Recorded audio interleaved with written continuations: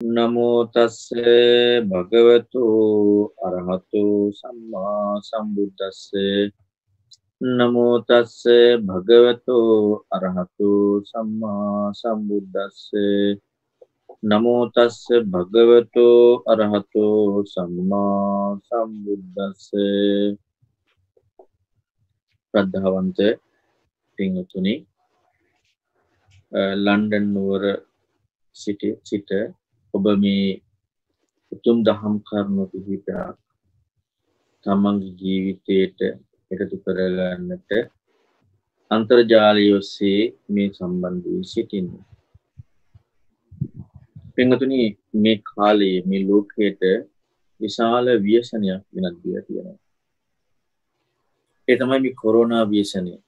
මේ කොරෝනා ව්‍යසනය නිසා මිනිස්සු විශාල වශයෙන් දුකකට පීඩාවකට පත්වෙලා තියෙනවා. මේ දුකට පීඩාවට පත්වෙච්චි මනුස්සයෝ තමන්ට පිහිටක් පිළිසරණක් හොයාගෙන විධාකාර දේවල් හොයනවා. පිංහතන නවන්න විද්‍යාව ලෝකයේ කොහොමන දියුණුවෙලා තිබුණත් වෛද්‍ය විද්‍යාවෙන් විවිධ ජාති හොයාගෙන තිබුණත් මේ කිසිම දෙකට මනුස්සයන්ට සැනසෙන්න්න පුළුවන් රැකවරණයක් අද වෙනකොට හොයාගරනෑ ඉතින් එහෙනම් අපි හොඳට කල්පනා කරල බැලුවත් මේ ලෝකයේ මිනිස්සු හබාගෙන යන්නේ මේ ලෝකයේ මිනිස්සු පිටිපස දුවන්නේ නවින ලෝකයේ විද්‍යාව තාක්ෂණය. ඔස්සේ නමුත් තමන්ට අවංකවම ජීවිතය ලැබෙන ප්‍රශ්න එන තැනදී තමන්ට මුහුණ දෙන්න සත්‍ය එන තැනදී මිනිස්සු කොච්චර ඒ පස්සේ දීවත් ඒක පිළිතුරක් ලැබෙන්නේ නෑ දැන් කාලේ යම් පිරිසක් එක තේරුම් අරගෙන එකට සැබෑ පිළිසරණක් හොයන්න පෙළඹෙනවා.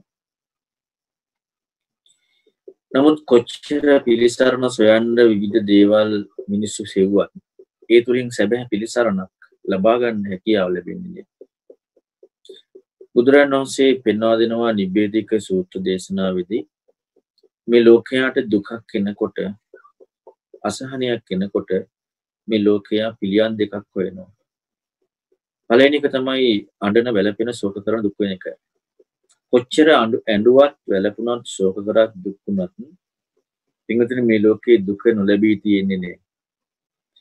මේක මේ ලෝකයට නොතේරෙන නිසා ඒ දේ කරනවා. ඒවගේම තමයි අනික් ක්‍රමය. බාහිරින් පිළිසරණක් හොයනවා. යදිනවා ආයාචනා කරනවා පාර්ථනා කරනවා. ආගම් ලෝකය හොයන්න එකත් එක්ක. නමුත් බාහිරින් කෙනෙකුට ආයාචනාවෙන් යදීමෙන් පිළිසරණක් ලැබෙනවනම් මේ ලෝකයේ කාටවත් දුක්විදින්න විදිහක් නෑ මොකද කවුරුත් ලෝකයේ දුකක් යදින්නේ නෑ හැමෝම යදින්නේ ඉල්ලන්නේ සැපක් නොන තියෙන කෙනා දන්නවා එකරරුණ පිළිසරණක් නැති බව. මෙන්න මේ විදිහට මේ ලෝකයේ විවිධ අය විවිධ ක්‍රම ඔස්සේ තමන්ගේ ජීවිතයේ මේ ලැබෙන අසහනයෙන් දුරවෙන්න ක්‍රම හොයනවා. ඒ අතර බෞද්ධ වූ අය බෞද්ධ යම් කිසි පමණකට ශ්‍රද්ධාවත් තියෙන අය අතීතයේ වෙච්ච සිද්ධි මුල් කරගෙන විශාලා මහනුවර ඇති වුණ ඒ තුන්බිය මුල් කරගෙන රතන සූත්‍රය තුළින් තමගේ ජීවිතයට පිළිසරණක් හොයන්න දඟලනවා.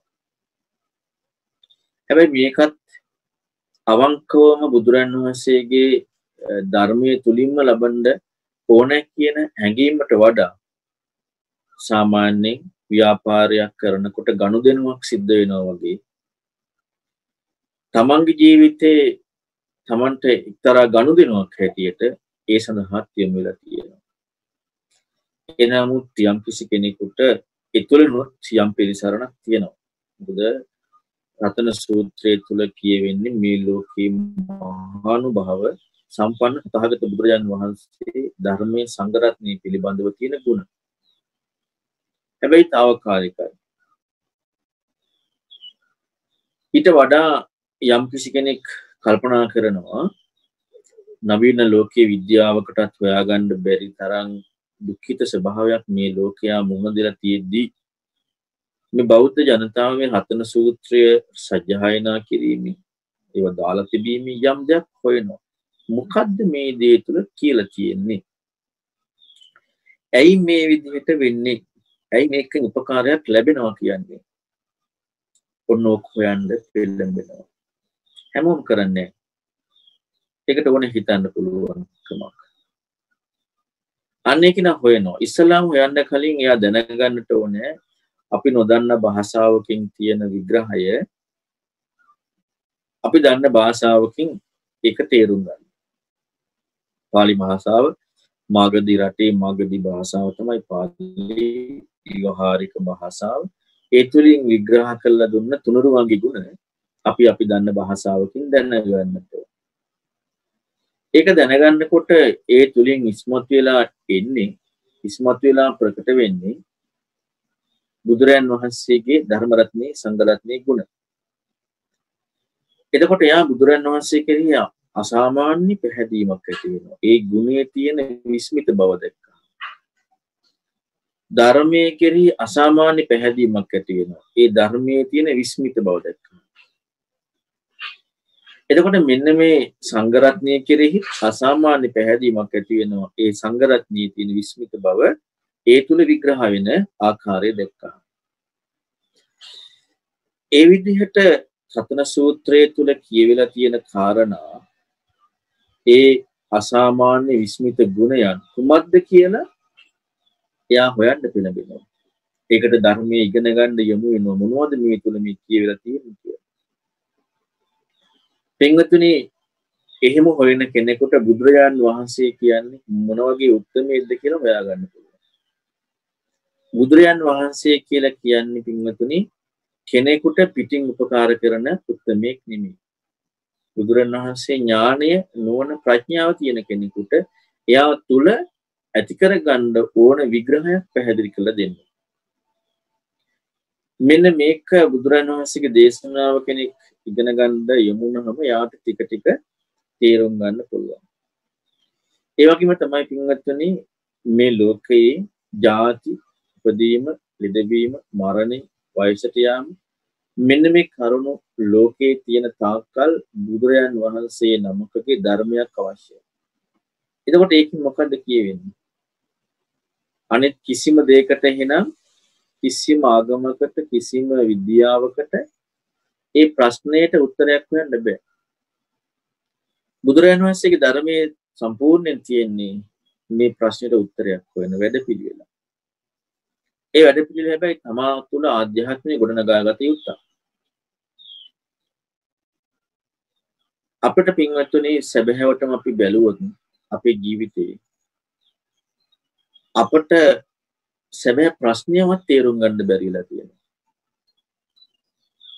පොඩ්ඩක් හිතලා බැලුවොත් අපි මේ ලෝකේ ජීවත් වෙනකොට මේ ලෝකේ පින්වත්තුනේ ලෙඩ වෙන වයසට යන මේ ප්‍රශ්නේ එක ලෝකේ ස්වභාවයක්. දැන් අපි දන්නවනේ අසනීපයක් දෙන්නේ යම් යම් දේවල් හේතු වෙනවා. ඉතින් අපි ඒවා හොයලා සාමාන්‍යයෙන් අදාළ නිදානට බෙහෙත් කරන ගතියක් තියෙනවනේ.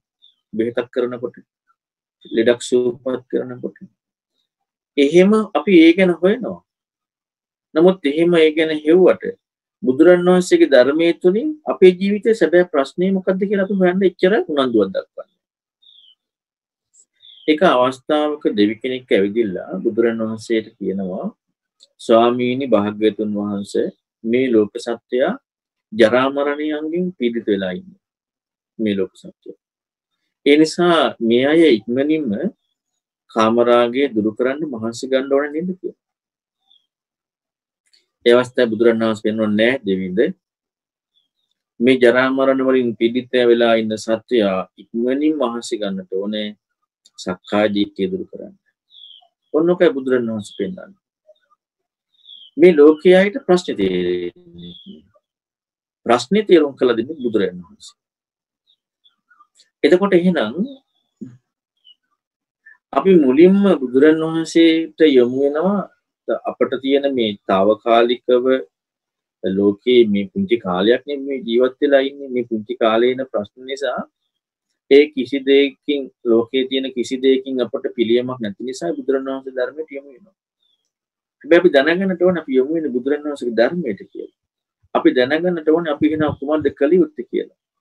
අපි එහෙනම් කළ යුතු බුදුරණවහන්සේ ධර්මයට යොමු වෙන එක. මේ ධර්මයට යොමු වුණා පින්වතුනි තවත් දේවල් බුදුරණවහන්සේ පෙන්වා දෙනවා. ඔය සැබෑ ප්‍රශ්නෙට උත්තරේ හොයන්නට විතරක් නෙමෙයි මේ ප්‍රශ්නේ එන්නේ කියලා පෙන්වලා දෙනවා. මේ විදිහට ප්‍රශ්න එනවා මිනිස්සු අධර්මිෂ්ඨ වෙනකොට. දේශයෙන් වෛරයෙන් රාගයෙන් මිනිස්සු පිච්චෙනකොට මිනිස්සුන්ගේ හිත දූෂ්‍ය වෙනකොට පරිසරය ඊට අනුව සැකසෙනවා. ස්වභාවික පරිසරය ඊට අනුව සැකසෙනවා. මිනිස්සුන්ට ආහාර වසවිස වෙනවා. අමනුෂ්‍ය මුදා හරිනවා ඒ යක්ෂ සේනාධිපතිවරු. ඊළඟට ලෙඩ රෝග ඇති වෙනවා. මේ ඔක්කොම වෙන්නේ මොකද්ද මිනිස්සුන්ගේ තියෙන හිතූෂ්‍යකමත් එක්ක. ඇයි මිනිස්සයා ආධ්‍යාත්මික ගුණවගාවකට යන්නේ නැහැ. ඔක තමයි මේ ලෝකේ ප්‍රශ්න වලට හේතුව. මිනිස්සු හිත පිරිසිදු කරගෙන ඉන්නවා නම් ආධ්‍යාත්මයත් පිරිසිදු. ඊළඟට බුදුරන් වහන්සේ මේක පෙන්නුවට මේ කාරණාව පින්වත්තුනි ලෝකේ හැමෝම ධර්මිෂ්ඨ වෙන දෙයක් බවට පත් වෙන්නේ නැහැ. එවැනි කාල ලෝකේ තියෙනව නැත්තේ නේ. ඒ තමයි ශක්තිත් රජවරු ලෝකේ පහළ වෙන කාලේ. අනික් සෑම කාලෙකම මිනිස්සුන්ගේ තියෙන අධර්මිෂ්ඨකම. අධර්මිෂ්ඨකම මේ ලෝකේ තියෙනකොට විවිධ ප්‍රශ්න ඇති වෙනවා. අතීතය ඇති වුණා, වර්තමානය ඇති වෙලා තියෙනවා, අනාගතය ඇති වෙනවා. ඒක නවත්තන්න බෑ. අපි විද්‍යාවෙන් හොයන්න ඕක නවත්තන්න. අපිට සැබෑම ප්‍රශ්නේ හොයාගන්න බෑ. අපට හිත අපි හිතන්නේ නැහැ මිනිස්යන්ගේ තියෙන විෂම විෂමචාරී බවයි මේකට හේතුව කියලා. අපි හැම වෙලෙම හිතන්නේ මිනිස්සු ඕන දෙයක් කරාට මිනිස්යන්ට යහපත් විදිහට ඉන්න ඕනේ කියලා. එහෙම වෙන්නේ නැහැ. මිනිස්යන්ගේ විෂමචාරී බවින් ඊට අදාළ ප්‍රතිඵල මිනිස්සුන්ට ලැබෙනවා. ඒක දැනගන්න ඒකත් බුදුරණවහන්සේ පැහැදිලි කරනවා. එතකොට අපි අපි විෂමචාරී නොවුන කියලා අපිට මේකෙන් ගැලවෙන්න බෑ. මොකද අපි සමාජයේ ගොදුරක් බවට පත් වෙලා. අපි සංසාරෙන පුද්ගලයෝ. සංසාරේ අපි ගමන් කරන නිසා අපි සමාජයට යමු මේ සමාජ ගොදුරක් වෙනවා. ඒ සමාජ ගොදුරට අපට මුහුණ දෙන්න සිද්ධ වෙනවා. එහෙනම් කළ යුතු කාරණාව තමයි අපේ හිත අපේ කෙලෙස් වලින් අපි යම් පමණකට හිත ආරක්ෂා සම්පූර්ණ හිත ආරක්ෂා කරගන්න ඕන වගේම හසරෙන් නිදහස් නොවන නිසා අපි හසරෙන් නිදහස් වෙන්නට අවශ්‍ය තථාගතයන් වහන්සේ පෙන්නපු සැබෑ ප්‍රශ්නෙට උත්තර ගන්නට ඕන. නමුත් පින්වතුනි ඔන්න ඕක අමතක වෙනවා. ඕක අමතක කියලා අපි කරන්නේ මොකද්ද? අපි කරන්නේ පින්වතුනි తాවකාලික තෘප්තියක් ලබන දෙයක් පමණයි. අපි කරන්නේ එවිලට ලබන සන්තෝෂයක් පමණයි. ඊට පස්සේ ඔක අමතකයි. ඒක නිසා අපි හොඳට දැනගන්නට ඕනේ මේ ප්‍රශ්නේ එන්නේ ඇයි? ඒ ප්‍රශ්නේ එන්නේ මිකරුණු නිසා. හැබැයි ඔය ප්‍රශ්නේ නිදහස් වෙන්නට නම් සංසාර ගමන ගමන් කරන තැනදී අපට උරුමුණ දේ කරා අපි බලන්නට ඕන. දැන් අපි හිතලා බලන්නකො මේ කොරෝනා ප්‍රශ්නේ නැත්නම් මේ අරුමුද එනකොට මේක අපේ ජීවිතේ අපි හිතමු අපි ගුණධර්ම පුරාගෙන ඉන්නවා කියලා අපට වෛර ක්‍රෝධ තරහ එකට එක කරන ගති මාන්නේ මේව නැහැ කියලා. හැබැයි මේව නැති වුණත් අපි සමාජෙ ගොදුරක් කියලානේ. අපි සංසරණ පුද්ගලයෝ. අපිට ඒත් මුණ දෙන්න වෙනවා. ඒ එහෙම මුණ දෙන්න පුළුවන් කමක් අපට ඇති වෙන්න ධර්මය ඕන. එතකොට අපි එහා යොමු වෙන්නේ නැහැ. අපට ඒක ප්‍රශ්නයක් වෙන්නේ. ජීවිතයේ අරුබුදයක් බවට ඒකපත් වෙන්නේ. හිත සැනසෙලා. ඉතින් මෙන්න මේ සඳහා අද සමාජයේ ගත්තොත් මුළු ලෝකෙම හතන සූත්‍රයේ සජ්ජායනා කරනවා. බෞද්ධයි. හතන සූත්‍රයේ ඉගෙන ගන්න පෙළඹෙනවා. අපි හතන සූත්‍රයේ අර්ථ දැනගෙන ඒ අර්ථ තුල කියලා තියෙන කාරණා හොයන්නට යමු වෙනට ඕන. මම අද ඔබට ඒ කරුණු මුල් කරගෙන අපේ ජීවිතයේ සැබෑ ප්‍රශ්නෙට උත්තරේ අපි හොයාගන්නේ කොහොමද කියන කාරණාවයි පැහැදිලි කරන්න දහස් කරන්නේ. අතන සූත්‍රයේ තියෙනවනේ කරුණු ගොඩක් මම කරුණු කිහිපයක් කියන්න. අතන සූත්‍රයේ බුදුරණන් වහන්සේ ගුණ ගැන තියෙනවා. බුදුරණන් වහන්සේ කියන්නේ මේ ලෝකයේ සිටින උතුම් මාණික්ක රත්නය. ඒ වගේම බුදුරණන් වහන්සේ බුද්ධ කියලා කියන්නේ පින්වතුනි බුදුරණන් වහන්සේට ඒ උත්තම සුන්දරත්වය ඉස්මතු වෙන්නේ තනියම අවබෝධ කිරීම කියන කාරණාව පමණක් නෙවෙයි. තනියම අවබෝධ කිරීම කියන කාරණාව පසේ බුදුරයන් වහන්සේ නමකටත් තියෙනවා. රහත් වීම කියන කාරණාව පමණක් නෙමෙයි. රහත් වීම කියන කාරණාව අන්‍යයටත් තියෙනවා. ඒක පස්සේ බුදුරණන් වහන්සේට කොහොමද තියෙනවා අන්‍ය රහතන් වහන්සේලාට තියෙනවා සම්බුද්ධ සූත්‍රයේදී බුදුරණන් වහන්සේ අහනවා ඔබයි රහතන් වහන්සේලාට කියන්නේ ඔබයි මගේ අතර වෙනස මොකක්ද ඒ රහතන් වහන්සේලා කියනවා ස්වාමීනි භාග්‍යතුන් වහන්සේම පැහැදිලි කරන්න කියලා. බුදුරණන් වහන්සේ පෙන්නනවා මහණෙනි අරහත්ත්වයට පත් වෙච්ච ඔබලාගේ මගේ කිසි වෙනසක් නෑ. අපි දෙගොල්ල ඔබත් මමත් අරහත්ත්වයට පත් වෙලා නිවිලා ඉන්නේ. එකම වෙනස. මම තමයි මග්ග විදු මග්ග කෝවිදු මග්ගඤ්ඤු. මේ මග පෙන්වන්න මග අවබෝධ කරගත්ත මග ඉස්මතු කරන්න. එතර බුද්ධ කියන නිර්වචනය එන්නේ පින්වතුනි කුමක් එක්කද? බුද්ධ කියන නිර්වචනයේ නිර්වචනයේ ලෝකයාට සමීප වෙන්නේ. ලෝකයාට සමීප වෙන්නේ බුද්ධ කියන නිර්වචනය.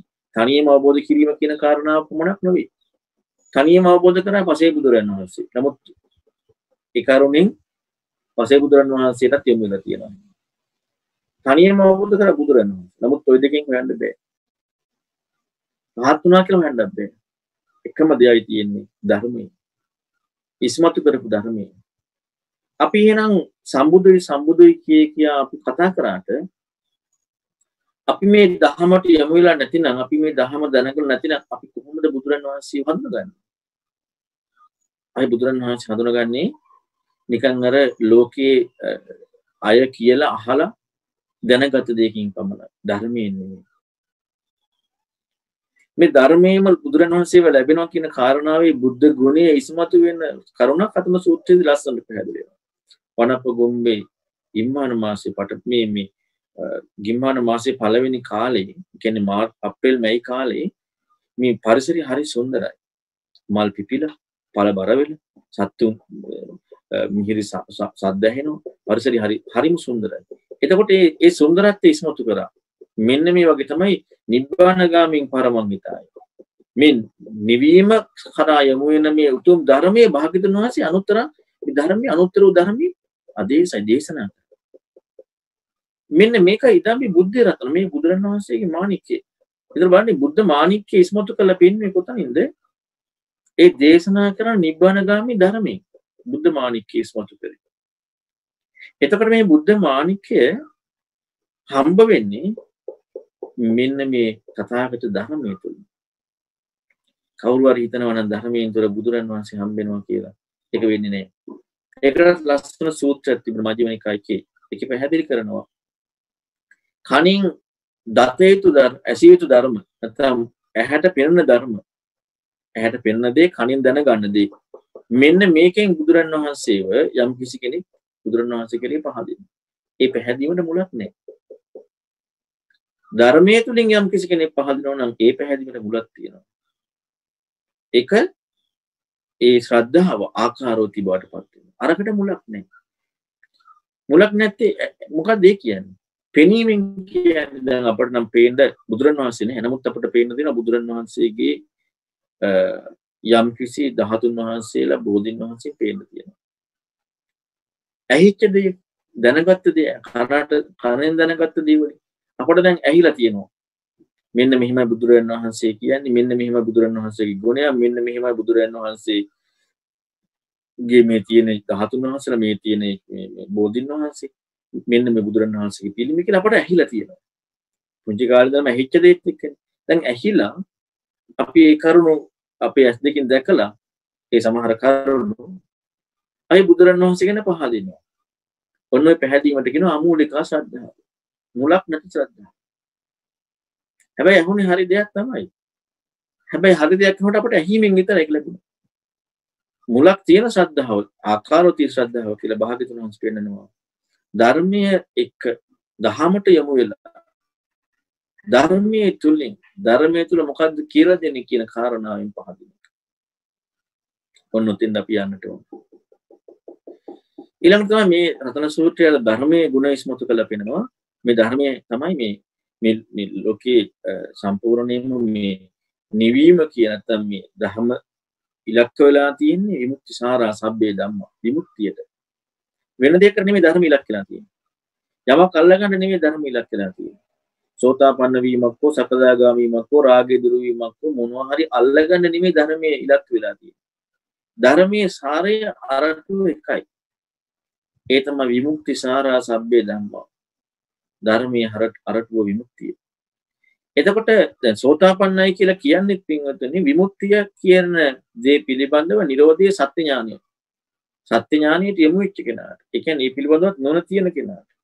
මේක තමයි සෝතාපන්නයි කියන්නේ. එහෙනම් විමුක්තිය ඉලක්කය. සාරේ විමුක්තිය. මේ විමුක්තිය පිළිබඳව ලස්සන විග්‍රහයක් තියෙනවා. එතන සූත්‍රය. ඒ තමයි ආනන්තරික සමාධිය. මේක මේ ලෝකයේ අනන්තරික සමාධිය කියන්නේ මේ අතරක් නැති නිම්මක් නැති මනින්න බැරි විග්‍රහයක් දෙන්න බැරි දැන් අපි ඕන දෙයකට මිම්මක් දෙනවා මේකයි මේකයි කියලා. ඒ මිමි ඉක්මුවොත් මැනීම ඉක්මුවොත් සමාධිය. මේක අනන්තරිකයි.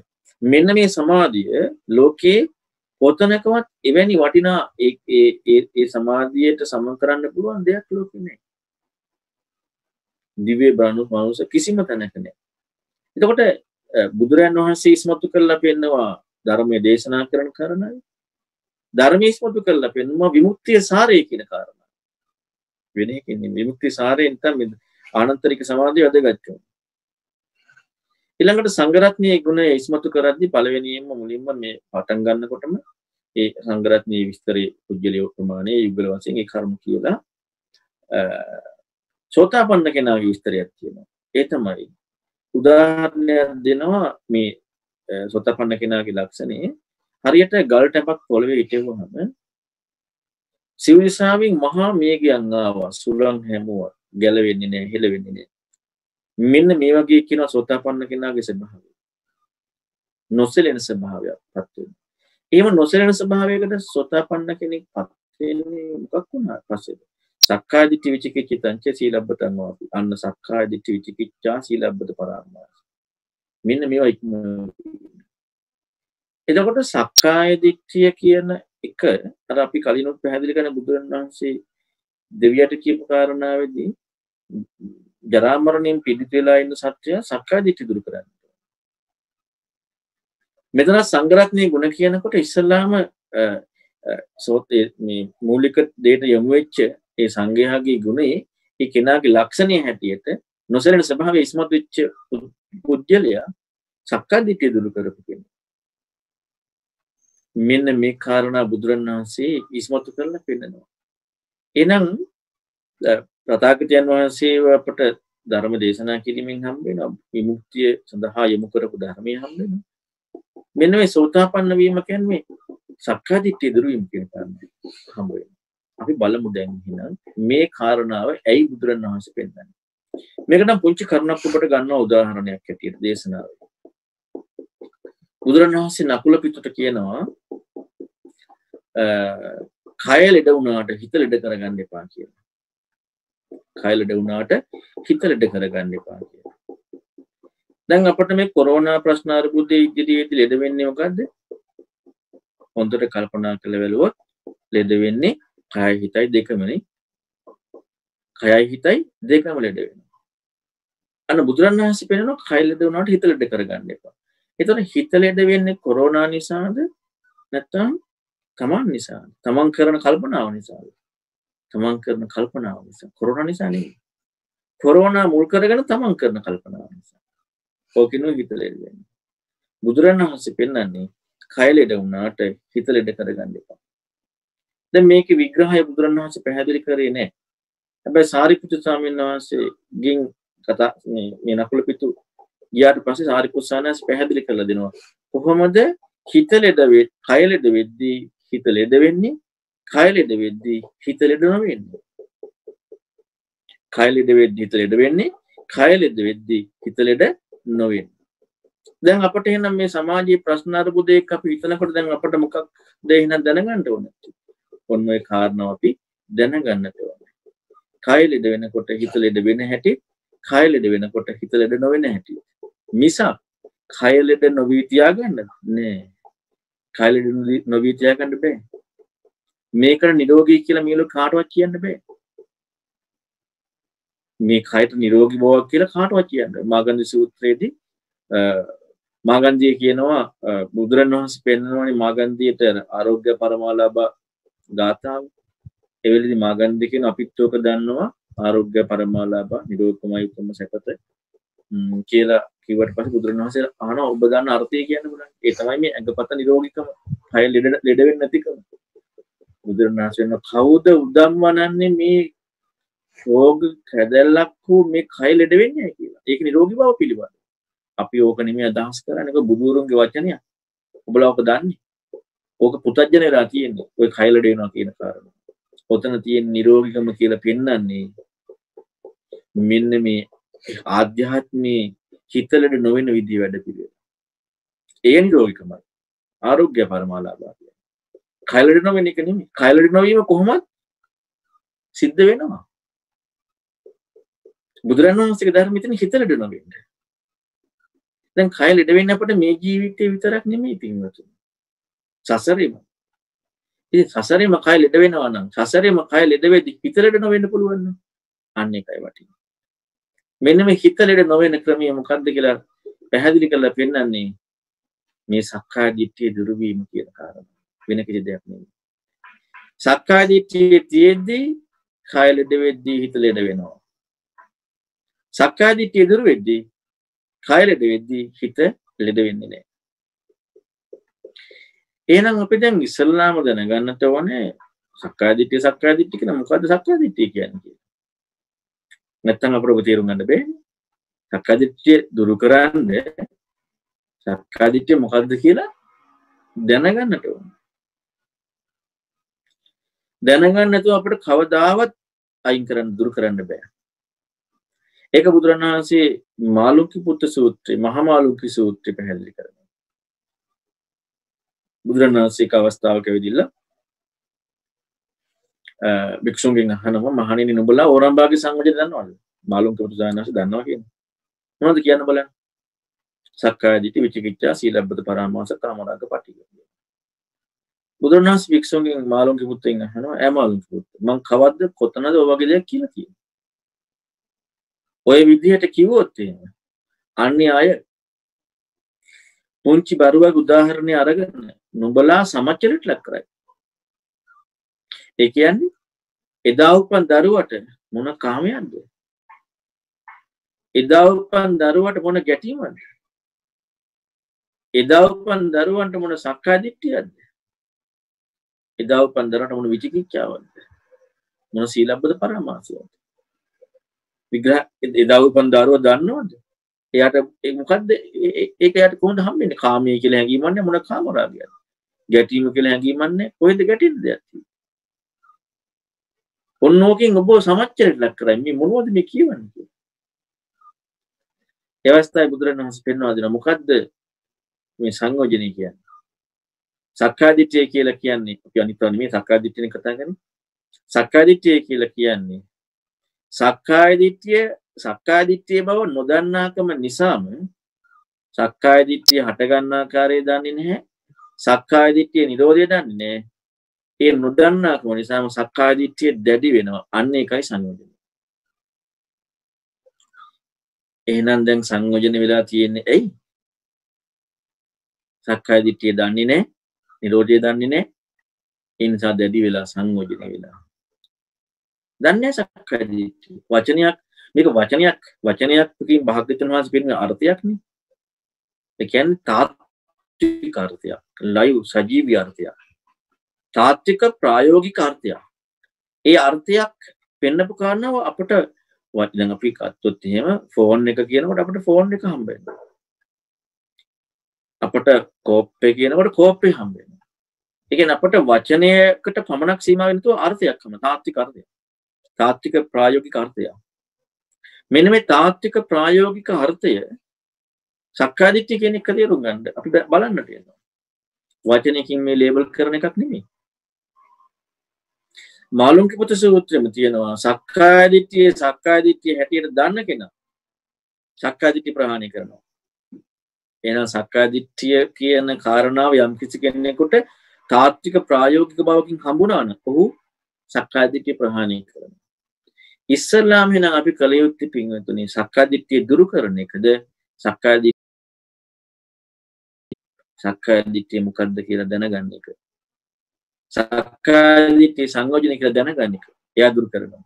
අර දෙවියා අහනවනේ ප්‍රශ්නයක් කාමරාගේ දුරු කරන්න ඕනේ කියලා ජරා මරණ වලින් පීඩිත වෙලා ඉන්න සත්‍යය. ඇයි ඒ දෙවියා මේ ප්‍රශ්නේ අහන්නේ? ඇත්තරම තමන්ට කාමරාගේ ප්‍රශ්නයක් වෙලා තියෙන ජරාමරණයට යොමුවෙලා ඉන්න සත්‍යය ආසාාවෙන් යනකොට කාමයන් නොස්සේ මේක ප්‍රශ්නයක් වෙලා එනිසා දුරු කරන්න හොයන්න හැබැයි ඒක ප්‍රශ්නයක් තමයි. හැබැයි සැබෑම් ප්‍රශ්නය කනේ ඊට එහා ප්‍රශ්නයක් තියෙන ඒ ප්‍රශ්නය හම්බුන්නේ ඒ ප්‍රශ්නය ලෝකයේ බුදුරජාණන් වහන්සේ නම පෙනනකන් ලෝකයට හම්බෙන්නේ නෑ එකයි තියෙන වෙනස. දැන් කාමරාගය කියන ප්‍රශ්න ලෝකයට හම්බ වෙනවා. ලෝකයට තේරෙනවා. නුන ලෝකයේ නුන තියෙන අය. ඒ නිසා එයාලා එකකින් උත්තරයක් හොයන්න නමුත් බුදුරන් වහන්සේනවා පෙන්වන්නේ මේ කාමරාගේ නෙමෙයි ප්‍රශ්නේ. ප්‍රශ්නේ සක්කාය දිට්ඨිය. මෙන්න මේ සක්කාය දිට්ඨිය කියන ප්‍රශ්නෙට උත්තරය හොයන්න බුදුරන් වහන්සේ පෙන්වනවා එතකොට එහෙනම් අපට මූලිකව කළ යුතු කාරණාව සක්කාය දිට්ඨිය ප්‍රහාණය කරනවා කියලා බොරුවට අපි හිතන එක නෙමෙයි මුලින්ම කළ යුතු කාරණාව සක්කාය දිට්ඨිය මොකක්ද කියලා අපි දැනගන්න සක්කාය දිට්ඨිය මොකක්ද කියලා දැනගත්තාම තමයි සක්කාය දිට්ඨිය ප්‍රහාණය කරන්න පුළුවන්. ඔන්න ඔතනදි තමයි කය ලෙඩ වෙද්දි හිත ලෙඩ නොවෙන්නේ. ඒ සක්කාය දිට්ඨිය ප්‍රහාණය වීමෙන්දී. මොකද්ද සක්කාය දිට්ඨිය කියන්නේ? සක්කාය දිට්ඨිය කියන කාරණාව තේරුම් ගන්න කලින් අපි දැනගන්න වෙනවා මේක කරුණු දෙකක් නේ. සක්කාය කියලා එකක්, දිට්ඨිය කියලා තව එකක්.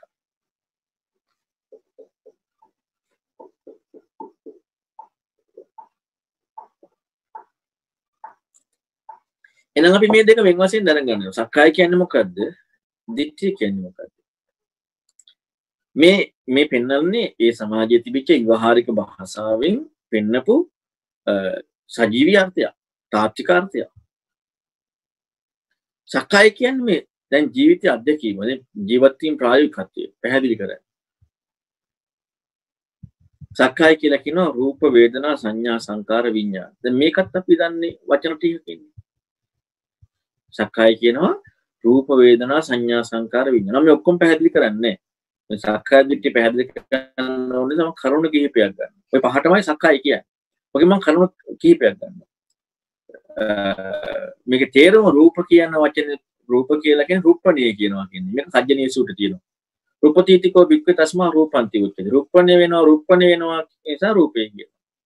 එතකොට ඒ සක්කාය කියන කාරණාවේ පළවෙනි එක තමයි රූපය රූපය කියන්නේ රූපණීය වෙනවා කියන දෙවෙනි කාරණාව තමයි වේදනාව වේදේතීති වේදේතීතිකෝ භික්කවේ තස්මා වේදනාති උච්චති විඳිනවා විඳිනවා කියන එකටයි වේදනාව.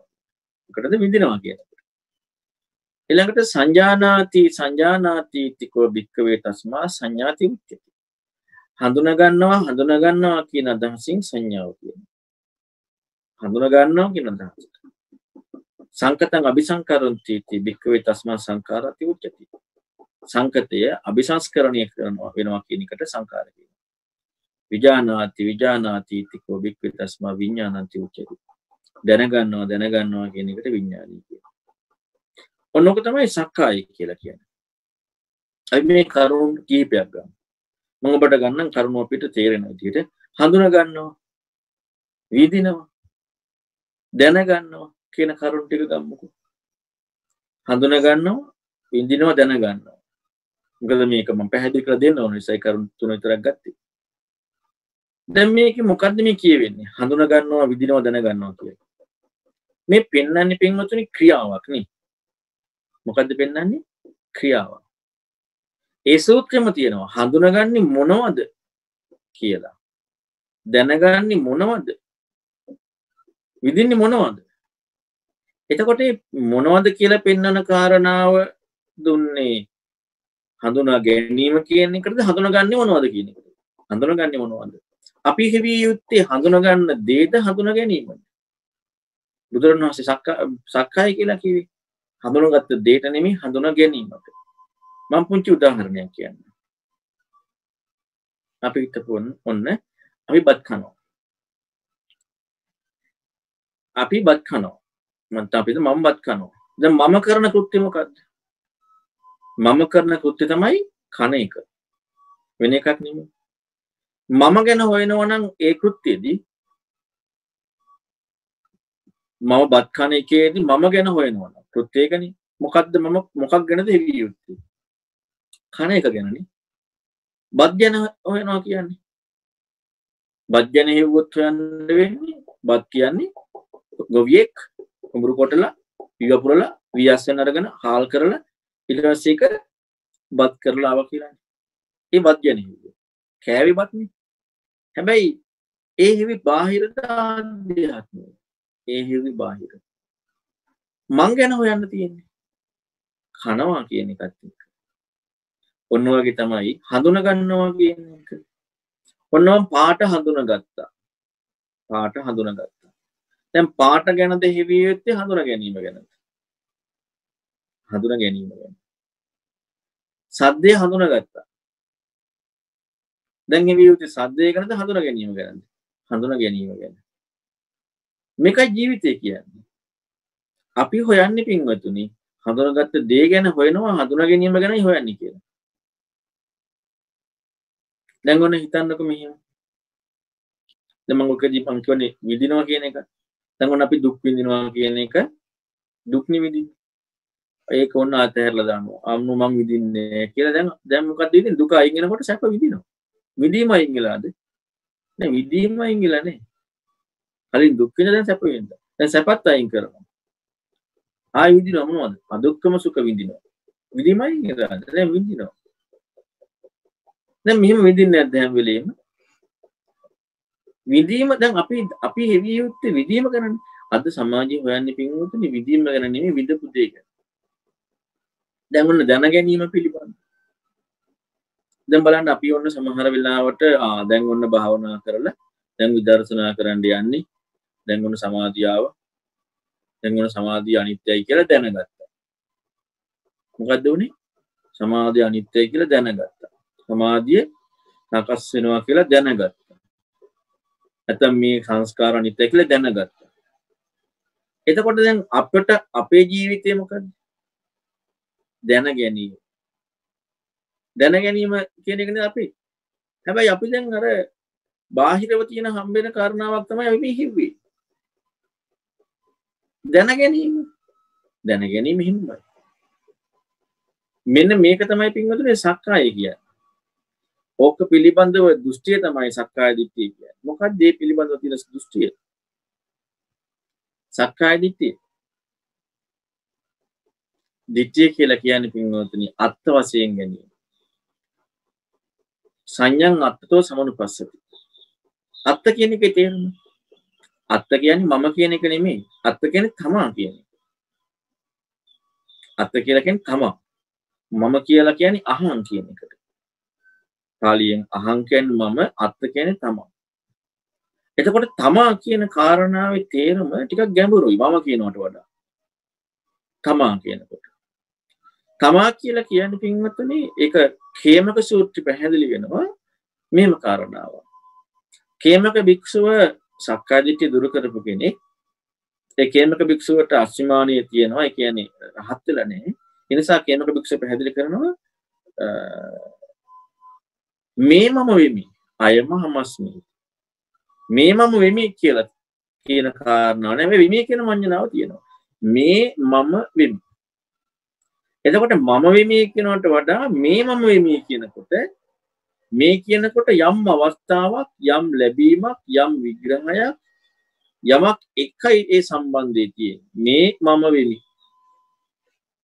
ඔන්නෝකත් එක තමයි අත්ත කියන කාරණා නිර්වචනය. අත්ත. තමා. තෙමේ කියන එක. ඉතින් දැන් බලමු මේ මොකද්ද මේ ඒ දිට්ඨියයි සක්කාය අතර මේ සම්බන්ධය? දැන් ඔබ හිතන්න ඔන්න කොරෝනා හැදුනා.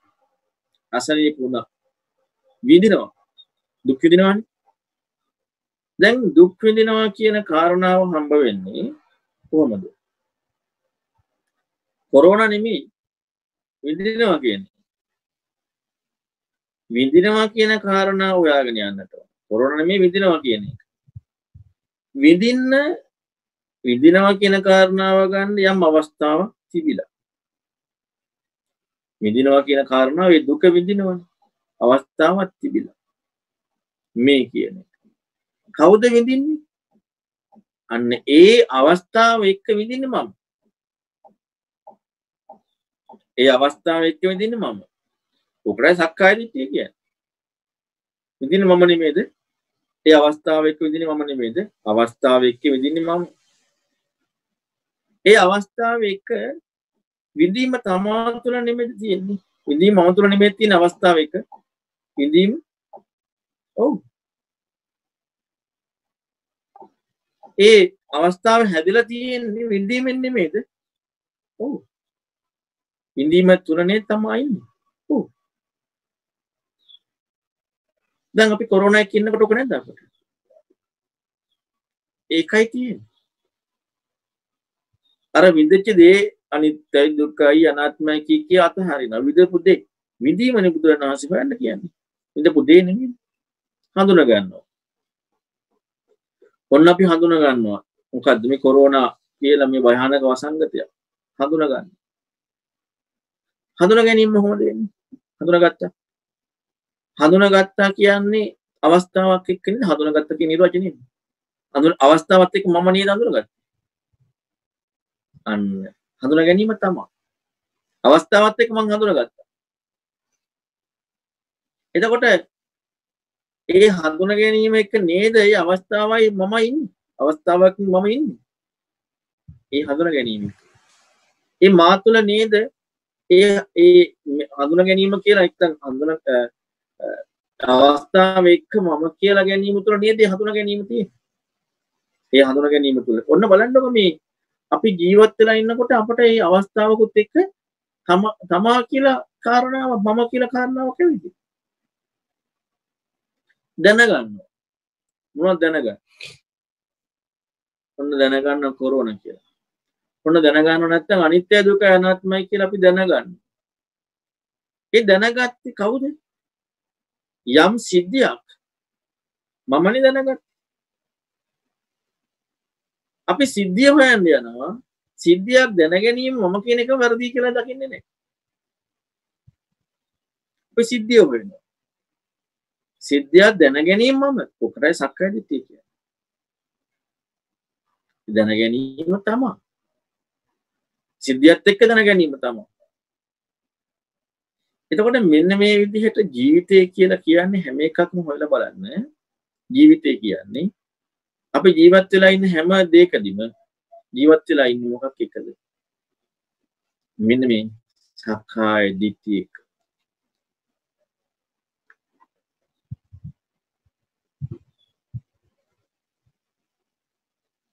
අපි සම්පූර්ණ ජීවිතය ගත කරන්නේ සක්කාය දිට්ඨිය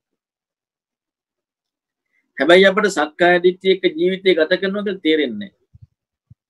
ඕකයි තියෙන ප්‍රශ්නේ. දැන් කය ලෙඩ වෙද්දි හිත ලෙඩ වෙන්නේ ඇයි? සක්කාය දිට්ඨිය තියෙන නිසා සහ සක්කාය දිට්ඨිය තියෙන බව දන්නෙත් නැහැ. ඔන්න කය ලෙඩ වෙද්දි හිත ලෙඩ හිත ලෙඩ වෙනවා. කොරෝනා හැදුනා. මැරෙන්න ළඟයි. දැන් මොකද වෙන්නේ? හිත ලෙඩ වෙන්නේ නැද්ද? කවුද විඳින්නේ? ඒකත් එක්ක මම විඳින්නේ. ඒ අවස්ථාවත් එක්ක මං විඳින්නේ.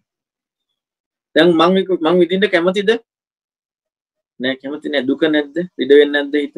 ලෙඩ වෙනවා. නිරෝගීද ලෙඩ? හිත හිත නිරෝගීද නැහැ. නිරෝගී නෑ. එහෙනම් පරම ලාභයක් වෙන්නේ ආරෝග්‍ය පරමාලාභයි. නමුත් නිරෝ දැන් මේ බුදුරණාහි හිතන පැහැදිලි කරන්නේ සම්පූර්ණයෙන්ම අරහත්වය නිරෝගීකම කියලා කියන්නේ.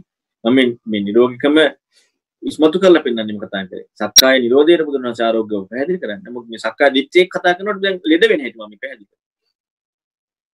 දැන් නිරෝගී නෙමෙයි ලෙඩ වෙනවනේ. ඇයි ලෙඩ වෙන්නේ? ඇයි තමා නිවිදින්නේ? ඒ කියන්නේ ඒ අවස්ථාව එක්ක මං විඳිනවා. දැන් ඒ විඳින්න කැමතිද නැද්ද? කැමති නෑ. දැන් හිත හිත වෙනස් වෙලාද නැද්ද? වෙනස් වුණාද නැද්ද? වෙනස් වෙනවා. එතකොට දැන ගැනීම එක්ක ඒ තමා තමා දැනගත් තමා විදිනවා කියලා හම්බවීම එක්ක නිශ්චිත වෙලා එකතු වෙලා තියෙන මොකක්ද දැන ගැනීම. දැන් මොකද වෙන්නේ? මෙන්න මේ දැන ගැනීම නැත්නම් මේ විදීම එක්ක ලෙඩ වෙනවා හිත. ශෝකේ පරිදේවේ දුක්ඛ දොමනස හට ගන්න. ඔන්න ඔකයි වෙන්නේ. හිත ලෙඩ වෙනවා කය ලෙඩ වෙන්නේ. දැන් ඔය ලෙඩ විතර නෙමෙයි ලෙඩ අසනීප කොච්චර තියෙනවද? දැන් හිතන්න තමන්ට වෙන භයානක ලෙඩක් හැදෙනවා මම ඔකට තව පුංචි උදාහරණයක් කියන්න මේ හිත ලෙඩ වෙන්නේ නැති කය ලෙඩ වෙද්දී සක්කාය දිට්ඨිය එක ඔබ හිතන්න කොරෝනා ප්‍රශ්න පැත්තකින් තියෙනවා. මම කියනවා මෙහෙම කාරණාව ඔන්න හිතන්න ඔබට පිළිකාවක් හැදෙනවා. භයානක පිළිකාවක් කය ඇතුලේ. හැබැයි ඔබ දන්නේ නැහැ. කය ඇතුලේ තියෙන විශාල පිළිකාවක්. මැරෙන්ඩ ඔන්න මෙද ඒත් දන්නේ නෑ. හරිම සතුටින් ඉන්නවා. කිසිම දුකක් නෑ. අසනීපයක් ප්‍රකටත් නෑ. ඔහු පිළිකාව නිසා මැරෙනවා. එතකොට දැන් කය ලෙඩ වෙලා දැන්ද? කය ලෙඩ වෙලා. එතකොට දැන් දැන් කය ලෙඩවීම කියන කාරණා ඔහුට හම්බුන්නේ නෑනේ. කය ලෙඩ වුණා වුණාට කය ලෙඩවීම කියන කාරණා ඔහුට හම්බුනේ. ගැන කයිලටවීම කියන එක ඔහුට තාත්වික නෑ වෛද්‍යවරු තමයි කියන්නේ මේ පිළිකාය මරන්න කියලා. හැබැයි කයිලඩීම තාත්වික නෑ. තාත්වික නැති නිසා හිතර ප්‍රශ්නයක් වුණේ. ඇයි හිතර ප්‍රශ්නයක් වුණේ සක්කාදිට්ඨිය නැතිකම නිසා නෙමෙයි. කයිලඩවීමෙන් එක තාත්වික බවකට පත් වුණේ නෑ. කයිලඩීමක් හම්බ වුණේ නෑ. ඔහුට හම්බුන්නේ නෑ පිළිකාවක් කියලා. ඔහුට පිළිකාවක් කියලා හම්බුණා මොකද වෙන්නේ? අපි හිතමු යම් කිසි කෙනෙක් කියන පිළිකාවක් හැදෙනවා හම්බ වෙනවා. කලින් කෙනට හම්බෙලා නැහැ. ඉතින් පිළිකාව තිබ්බට කෝ එයාට ප්‍රශ්නයක් වෙලා නැහැ. දැන් මේ පිළිකාව නිසා සක්කාය දිට්ඨිය හැදෙන හැටි. පිළිකාව නිසා සක්කාය දිට්ඨිය හැදෙන හැටි. සක්කාය දිට්ඨිය හටගන්න හැටි. පිළිකාවෙන් ඔන්න එතකොට කයිලට වීම හම්බෙනවා කියන තැනදීම සක්කාය දිට්ඨිය ඉක්මවද වෙලා. පිළිකාවක් කියලා දැනගත්තා. පිළිකාවක් කියලා විඳිනවා. දැන් මොකද වෙන්නේ? පිළිකාවක් කියලා දැනගත්තා පිළිකාවක් කියලා විඳිනවා. ඒ පිළිකාව කියලා දැන ගැනීම විඳීම කියන කරුණ එක අවස්ථාව එක දැනගත්තේ මම නේද? විඳින්නේ මම නේද? පිළිකාව කියලා දැනගත්තේ දැන ගැනීමට කියන විඥානීය කියලා. හඳුනා ගැනීමට කියන සංඥාව කියලා. විඳිනවා කියන එක වේදනා කියලා. දැන් මම නේද විඳින්නේ? දැන් මොකද කරන්නේ? දැන් හිතට නොසන්සුන් බව. හිතට ප්‍රශ්නයක්. දැන් උත්තර හොයනව නේද ඕගාන? දැන් උත්තර හොයනවා. පෙරලා පෙරලා හැම තැනම යනවා. උත්තර හොයනවා. දැන් අන්න හිත ලෙඩ වෙලා. මොකද්ද? සක්කාය දිට්ඨිය එක.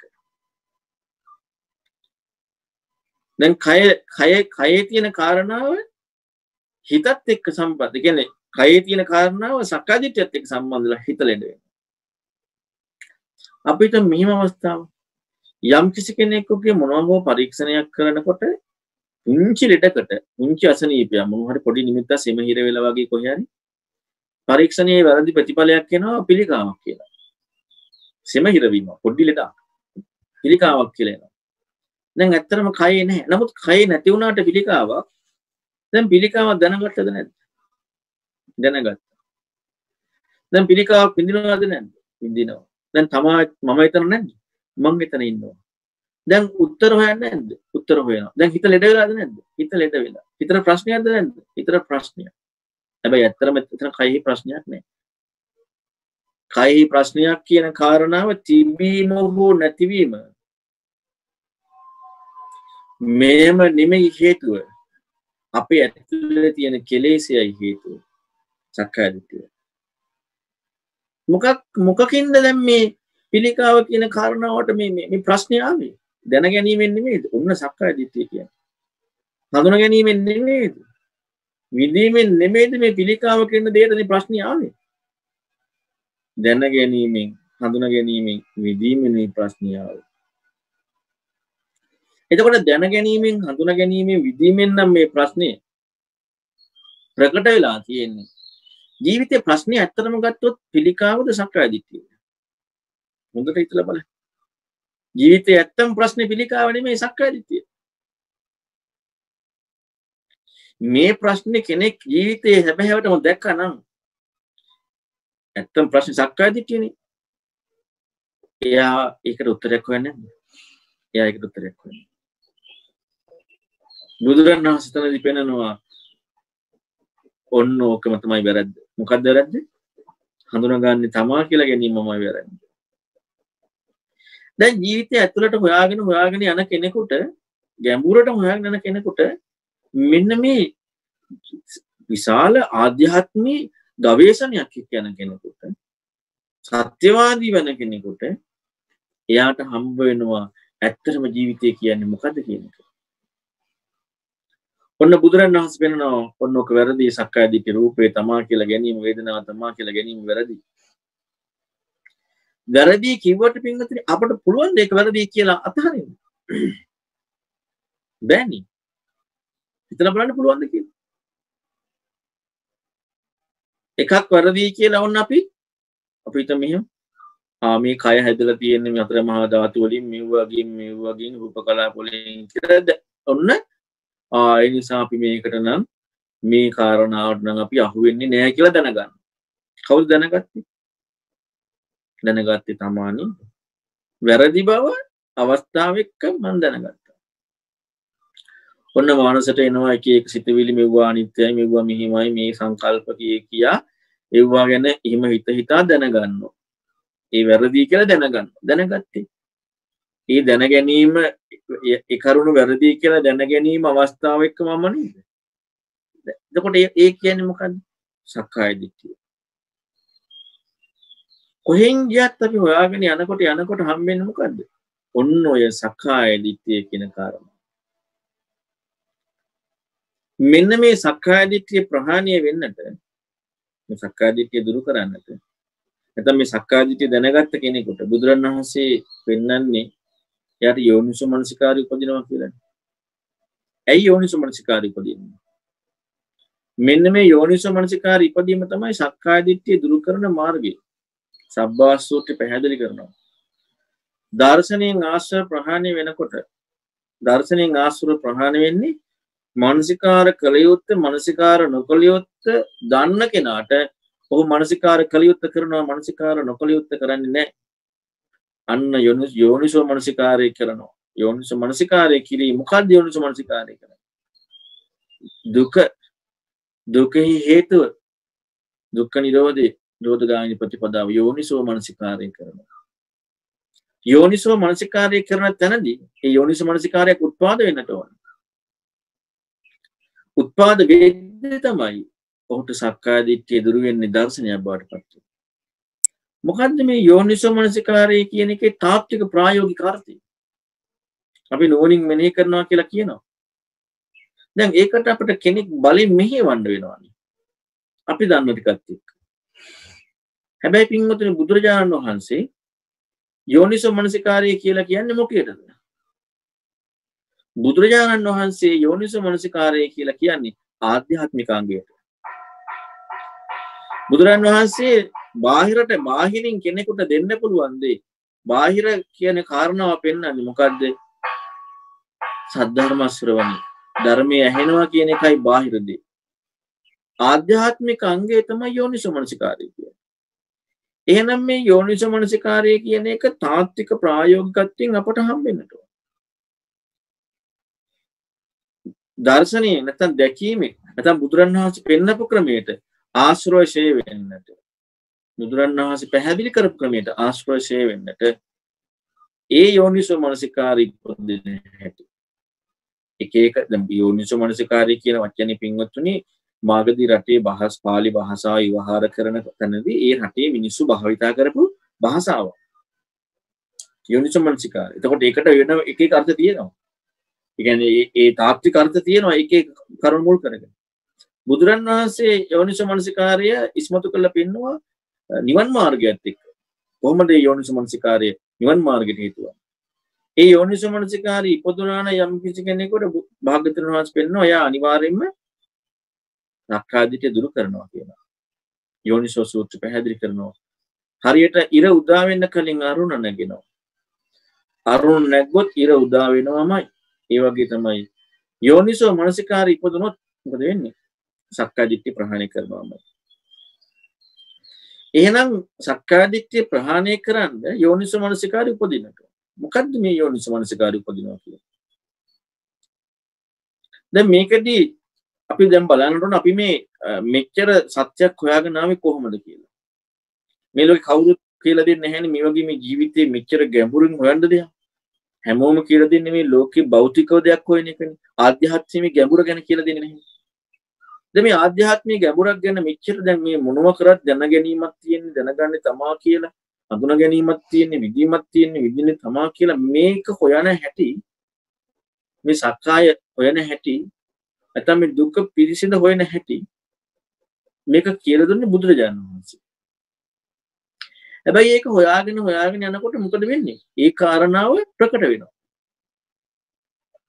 දැන් මොකද්ද ඉස්මතු වෙන්නේ? ශ්‍රද්ධාව. ශ්‍රද්ධාව කියන්නේ ශ්‍රද්ධාව කියලා කියන්නේ පින්වතුනි අපි දන්න අපේ අත්දැකීම අපේ ප්‍රායෝගිකත්වය සම්පූර්ණයෙන්ම එහා ගියපු ඒකට විරුද්ධව කියපු ඇත්ත උත්තමයේගේ සත්‍ය වචනය පිළිගන්න. කීටාග සූත්‍ර පැහැදිලි කරනවා හරියට මේ ශ්‍රද්ධාව කියන කාරණාව කොයි විදිහටද ඒ තමයි බුදුරන් වහන්සේගේ ඕජාව. ඒ කියන්නේ දැන් අපි ගත්ත තාත්තා කෙනෙක්ගෙන් දරුවෙක් වෙනවා නම් ඒ දරුවාගේ තියෙන තාත්තගේ ලේනේ. එතකොට ඒ තාත්තගේ ලේ වලින් අනයට දරුවා කියනවා. බුදුරන් වහන්සේගේ ඕජාව තියෙන කෙනා. බුදුරන් වහන්සේගේ ඕජාව කියන්නේ මේ යථාර්ථ ධර්මයේ. අන්නේ ඕජාව තියෙන කෙනාගේ ලක්ෂණය මොකක්ද භගවා ජානාමි අහං නජානා. මොකක්ද ලක්ෂණේ? බුදුරන් වහන්සේ දන්නවා මම දන්නේ නැහැ. අන්න ශ්‍රද්ධාව ඉස්මතු වීම. දැන් මොකද ඒ ඇයි එහෙම වෙන්නේ? හොයාගෙන හොයාගෙන හොයාගෙන යනකොට බුදුරන් වහන්සේ පෙන්නපු කාරණාව එක්ක හම්බ වෙනවා තමන් කියලා ගත්ත කාරණාව වැරද්දා තමන්ට ලැබෙන තාත්තික තමන්ට ලැබෙන තාත්වික අවස්ථායි ප්‍රායෝගික අවස්ථායි වැරද්ද හැබැයි අර වචනයට අනුගත වෙලා හොයද්දී ඒකට හොයද්දී මේකට තව වචනයක් පෙන්වන බුදුරන් වහන්සේ ඒක හම්බෙන එකට ධම්ම නිච්ඡානක් කන්ති අනුලෝම කන්ති කියලා. කියන්නේ කන්ති කියන්නේ ඉවසනවා කියන එක. ඉවසීම කියන එකේ මොකක්ද අර්ථය? ඉවසීම කියන එක කරනකොට තමන්ට මොකද්ද වෙන්නේ? ඉවසීම කියනකොට. ඉවසීම කියලා කියන්නේ පින්වතුනි ධම්ම නිජාන කන්ති කියන එක තේරුම් ගන්න අපි ඉවසීම තේරුම් ගන්න. ඉවසීම කියලා කියන්නේ බාහිරින් කෙනෙක් අපට බයිනකොට අගුණ කියනකොට අපේ නැති දෙයක් කියන්නේ. පළවෙනිම කාරණා තමයි ඉවසීම කියන එකේ එක කෘත්‍යයක්. බාහිරින් කෙනෙක් බයිනකොට අගුණ කියනකොට ඒ කියන කාරණාව අපට නැති දෙයක්. න පළවෙනි. ඊළඟට තමයි කියන කාරණා අවිභව යන්නේ නැහැ. අපි ඒකට විරුද්ධව කතා කරන්න විරුද්ධව හිතන්න ඉවසනවා නෑ ඉවසීම වෙන්නේ නෑ ඒකට විරුද්ධව හිතන්නෙත් නෑ කතා කරන්නෙත් නෑ. අන්න මේ කරුණු දෙක ඉවසීමෙන් සිද්ධ වෙනවා. දැන් මේ ඉවසීම මොකද්ද? ධර්මයට අනුව ඉවසීම. කොහොමද ඒක වෙන්නේ? මේ ධර්මයේ මේ ශ්‍රද්ධාව නිසා මේ ධර්මයේ එක්ක යනකොට මේ ධර්මයේ තුල කියලා දෙන කාරණා හොයාගෙන යනකොට මොකද වෙන්නේ හොයාගෙන යනකොට අපි දන්න දේට වඩා හාත්පසින් වෙනස් දෙයක් හම්බ වෙන්නේ. හැබැයි ඒක අතික්‍රමණය කරන්න. ඒක ඉක්මවන්නේ නැහැ. අන්න ඉවසීමකුත් ධර්මයට අනුව ඉවසන. අරක ඉක්මවන්නේ නැහැ. අපි ඒකට වඩා වෙනස් දෙයක් තියෙනවා. දැන් මොකද වෙන්නේ? ඔන්න ඔතෙන්ද යෝනිසමනසිකාරී ඉපදීම කියන්නේ. මොකක්ද වෙන්නේ? දැන් අපි හොයාගෙන හොයාගෙන ගියා පින්වතුනි අපි සක්කාය ගැන හොයනකොට සක්කාය කියන ජීවිතය ගැන හොයන්නනේ කිව්වේ. ජීවිතය ගැන හොයාගෙන යනකොට අපට හම්බ වෙනවා සක්කාය දිට්ඨිය. සක්කාය නෙමෙයි හම්බෙන්නේ සක්කාය දිට්ඨිය. මොකද්ද සක්කාය දිට්ඨිය? දැන ගැනීම තමා කියන එක. ඒ කරුණත් එක්ක අවස්ථාවත් එක්ක දැන ගැනීම මම කියන එක. හඳුන ගැනීම ඒ කරුණත් එක්ක මම කියන එක. ඔන්න තමයි සක්කාය හොයන්නේ සක්කාය දිට්ඨිය හම්බෙන්නේ. බුදුරණාහි පෙන්නවා ඔක වැරදි. ඒකට පෙන්වන්නේ අසුතවා පුතඥයාටයි ඔක තියෙන ඔක වැරදි. පුතඥය හැම ගන්නේ ඔක වැරදි. දැන් අපට හම්බෙන්නේ උනට වැරදි කියවට වැරද්දද ඒකද? දැන් අපි මේකට අවංක වෙන්නට ඕනේ. අපි වංචනික වෙලා හරියන්නේ අවංක වෙන්නට ඕනේ. වැරදි කිවට හඳුනගත්තේ තමාමනි, විඳේ තමාමනි, දැනගත්තේ තමාමනි. බුදුරන් වහන්සේ වැරදි කිව්වට අපට හම්බෙන්නේ ඒක. දැන් මොකක්ද උපදින්නේ? අන්න ධම්මනිච්ඡාන කන්ති යන්නේ තෙන්ද. අරක අතික්‍රමණය කරන්නේ නැහැ. බුදුරණවහන්සේ කියව ගන්න වැර ඉක්මව යන්නේ නැහැ. ඊළඟට තමන්ට වඩා වෙනස් දෙයක් හම්බුනේ. අන්න ධම්මනිච්ඡාන කන්ති. දැන් ශ්‍රද්ධාවනි බැසගත්තේ. ඇයි බුදුරණවහන්සේ කිව්වද හරි ඒකයි අතික්‍රමණය කරන්නේ නැත්තේ. හරි. හරි වුණාට අපේ අත්දැකීම වෙනස් එකක්. අපට සත්‍ය වශයෙන්ම ලබන අත්දැකීම අපට වඩා නිවැරදි කෙනෙක් ඒක වැරදි සම්පූර්ණයෙන්ම කියනකොට මොකද වෙන්නේ? ඒක අනුව හිතීමට යොමු වෙනවා. මොකක් එක්කද? ඒ හරිය හරි කාරණාව නිවැරදිවම පෙන්නපු අපට වඩා අපේ කාරණාව වැරදි කියලා පෙන්නපු නිවැරදි කාරණාව එක්ක හිතන්න පෙළඹෙනවා. ඇයි මේක වැරදි කිව්වා? එහෙනම් මොකද්ද හරි එක? යන්න ඒක නිතැතින්ම ඒක ආධ්‍යාත්මික ගොඩනගෙන අංගයක්. ඔකට කියන යෝනිසෝ මනසිකාරය. ඔන්න ඔය යෝනිසෝ මනසිකාරයේ උපදිනකොට මොකද වෙන්නේ? ඔකට තමයි මාර්ගයේ මූලාරම්භය තියෙන්නේ. ප්‍රඥාවේ මූලාරම්භය තියෙන්නේ. සුසුතේ ලබතේ පඤ්ඤා අපමත්තෝ විචක්ෂණ විචක්ෂණ යෝනිසෝ මනසිකාරය. මෙන්න මේක උපදින්නට මේක උපදින එක තමයි මූලිකම දේ. අන්න එතනදි තමයි පින්වතුනි ප්‍රඥාවටයි සක්කාය දිට්ඨිය දුර වෙන්නේ. සක්කාය දිට්ඨිය දුරු වුණ බව විඥාණයෙන් දැන ගැනීමක් නෙමෙයි තියෙන්නේ. සක්කාය දිට්ඨිය දුරු වීම ප්‍රඥාවෙන් පජානා කියනවා. ප්‍රඥාවටයි දැනගන්න. ඒ කියන්නේ විචක්ෂණයක් නෝනෙන් විමසලා විමසීමත් එක්ක දැන් බලන්න මෙන්න මේ විදිහේ වැඩපිළිවෙලක් කෙනෙක් කරගෙන යන තැන මේ සක්කාය දිට්ඨිය දුරු කරන වැඩපිළිවෙල.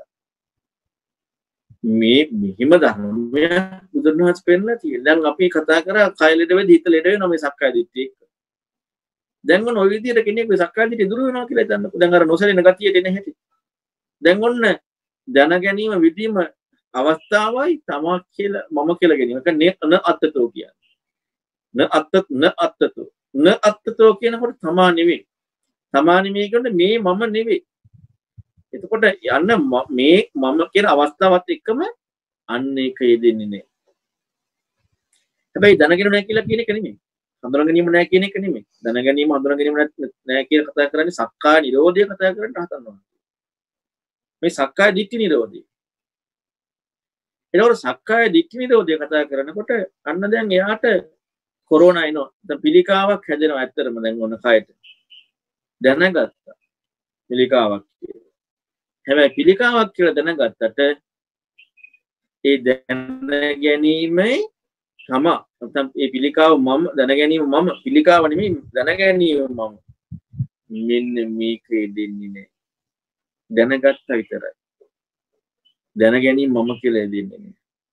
දැන් දැන ගැනීම මම වුණා නම් නේද? දැන් දැනගැත්තින් දැන ගැනීම මම වුණා නම් දැන් මට පිළිකාවක් විතර මට කොරෝනා හැදිලා.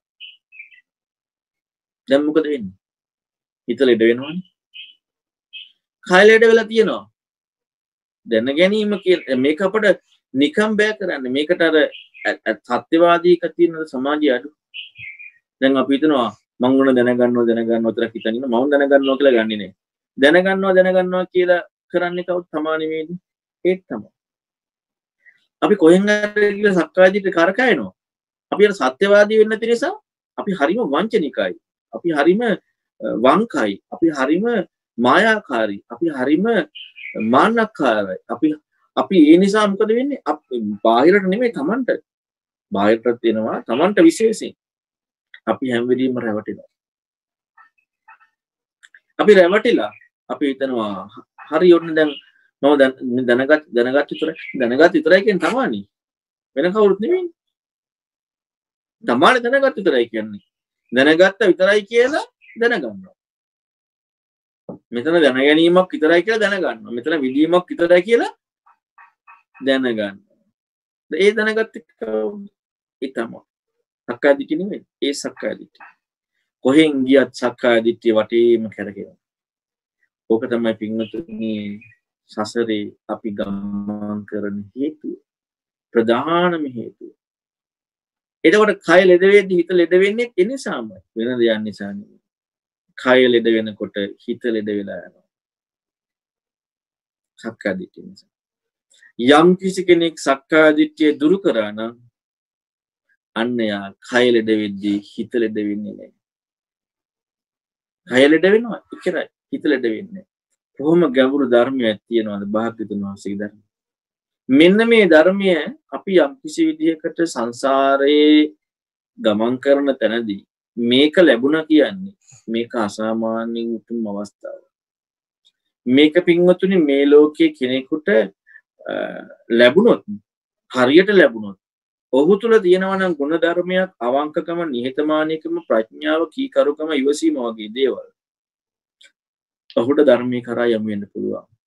එහෙම දේවල් නැති වුණාට පස්සේ අපට වංචනික නම් මාන්නක් කාරයි නම් කීකරුගමන් නැතිනම් අපි පින්වතුනි දහමට යමු වෙන්නේ. අපි ධර්මයට විරුද්ධවයි යන්නේ. නුවණක්කාරකම නැත්නම් හේත් බෑ. දැන් හැමෝම අර తాවකාලික ගනුදෙනුවක් නුවන් රතන සූත්‍රයේ ඒකෙන් පිළිසරණක් තියෙනවා. නමුත් ඒක తాවකාලික ගනුදෙනුවක් පමණයි. සැබෑ පිළිසරණක් ඒ කියන්නේ ඒ වෙලාවට පුංචි පිළිසරණක් තියෙනවා. හැබැයි එතනින් පස්සේ ආයේ නෑ. වෙන ජීවිතයක් ලබලා අප වෙන දුකක් විඳිනවා. දැන් තිරසනෙක් ප්‍රේතෙක් වුණාට පස්සේ අපි දන්නවද? නෑ. හැබැයි ඒ පිළිසරණ වෙන්න පෙන්නපුව රත්න සූත්‍රය තුළ තියෙන ගැඹුර හොයාගෙන ගියා. ඒක සැබෑම ධර්මය හොයාගෙන ගියා. ඒ තුළ ප්‍රතිපදාව හොයාගෙන ගියා. මෙන්න මේකින් කද සිද්ධ වෙන්නේ? ප්‍රශ්නයට සැබෑම උත්තරේ සහ සැබෑම ප්‍රශ්නයත් හම්බෙනවා. සැබෑම උත්තරයත් හම්බෙනවා. එයාට මේ ලෝකයේ පෙරළුණත් පින්වතුනි දුකක් නැහැ. කොරෝනා වලට වඩා දහස් ගුණකින් අසනීප පවතින ප්‍රශ්නයක් නෑ හිත ලෙඩ වෙන්නේ කලෙඩ වුණාට. එයාට මරණාසන්න වුණත් ප්‍රශ්නයක් නෑ. හිත ලෙඩ වෙන්නේ නෑ කලෙඩ වුණාට. මෙන්න මෙතනදී පමණයි කය ලෙඩවීමෙන් හිත ලෙඩ නොවෙන්නේ. එතකම් පින්වතුනි කය ලෙඩ වුණාම හිත ලෙඩ වෙනවා. ඒක නිසා අපි බලන්නට ඕන හැම වෙලේම කල්පනා කරලා අපි බුදුරජාන් වහන්සේ පෙන්නපු මේ උතුම් ධර්මයේ කරා අපි යොමු වෙන්න වද නැත්නම් අපි බුදු ගනුදෙනුවක් පමණක් කරනවා. බුදුරජාන් වහන්සේ ධර්මයක මේ ධර්මයේ කරා යොමු වෙන්න අපිට මොකද තිබිය යුතු හැකියාව? අපි මේ ධර්මයේ කරා යොමු වෙන්න අපි තුල තියෙන්නට ඕනේ ඉවසීම කීකරුකම නිහතමානීකම අවංකකම ප්‍රඥාව. මෙන්න මේ කරුණු අපි තුළ ප්‍රකට වෙන්නට ඕන. එහෙම වුණොත් පින්වතුනි ලෝකයක් හඬද්දී ලෝකයක් දුක් වෙද්දී ලෝකයක් ලත වෙද්දී ඒ සුතවත් ආර්ය ශ්‍රාවකයාට හඬන ජීවිතය ඉක්මවන්න පුළුවන්. වැළපෙන ජීවිතය ඉක්මවන්න පුළුවන්. දුක් වෙන ජීවිතය ඉක්මවන්න පුළුවන්. එඩිතරව නොබියෝ මුහුණ දෙන්න පුළුවන්. මෙන්න මේක පින්වතුනි මේ ලෝකේ ධර්මයේ නිසා කෙනෙකුට ලැබෙන උතුම්ම දෙයක්. ධර්මය නිසා කෙනෙකුට ලැබෙන උතුම්ම දෙයක්. ධම්මෝ හවේ රක්කති ධම්මචාරී. ධර්මයේ හැසිරෙන්න ධර්මය විසින් රැක්කා. කොහොමද රැකුණේ? ලෙඩ වෙන්න තුනවද? නැහැ. ලෙඩ වෙන්න තිවුණා නෙමේ ලෙඩ වෙද්දී හිත රැකිලා හිත ලෙඩ වෙලාන්නේ අන්න ධර්මයේ විසින් රැක්කා කියලා කියන්නේ අන්න ඒකට. ඉතින් ඒ නිසා පින්වත්තුනි අපි හොඳට තේරුම් ගන්නට ඕනේ අපේ ජීවිතයට මේ ඉතිං ආරක්ෂාවෙන්න ධර්මයෙන් ආරක්ෂාවෙන්ද හිත රැක ගන්න වැඩ පිල්ලක් ගුරු කරන්නට ඕන. ඉතින් අපි මේ ලන්ඩන් නුවර සිට ඔබ ධර්මය ශ්‍රවණය කරේ. ඔබට පුංචි වෙලාවක් දෙන්න පුළුවන්.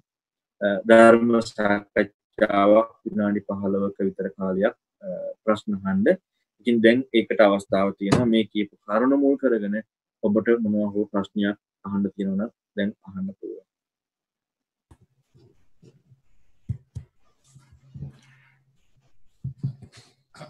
අපි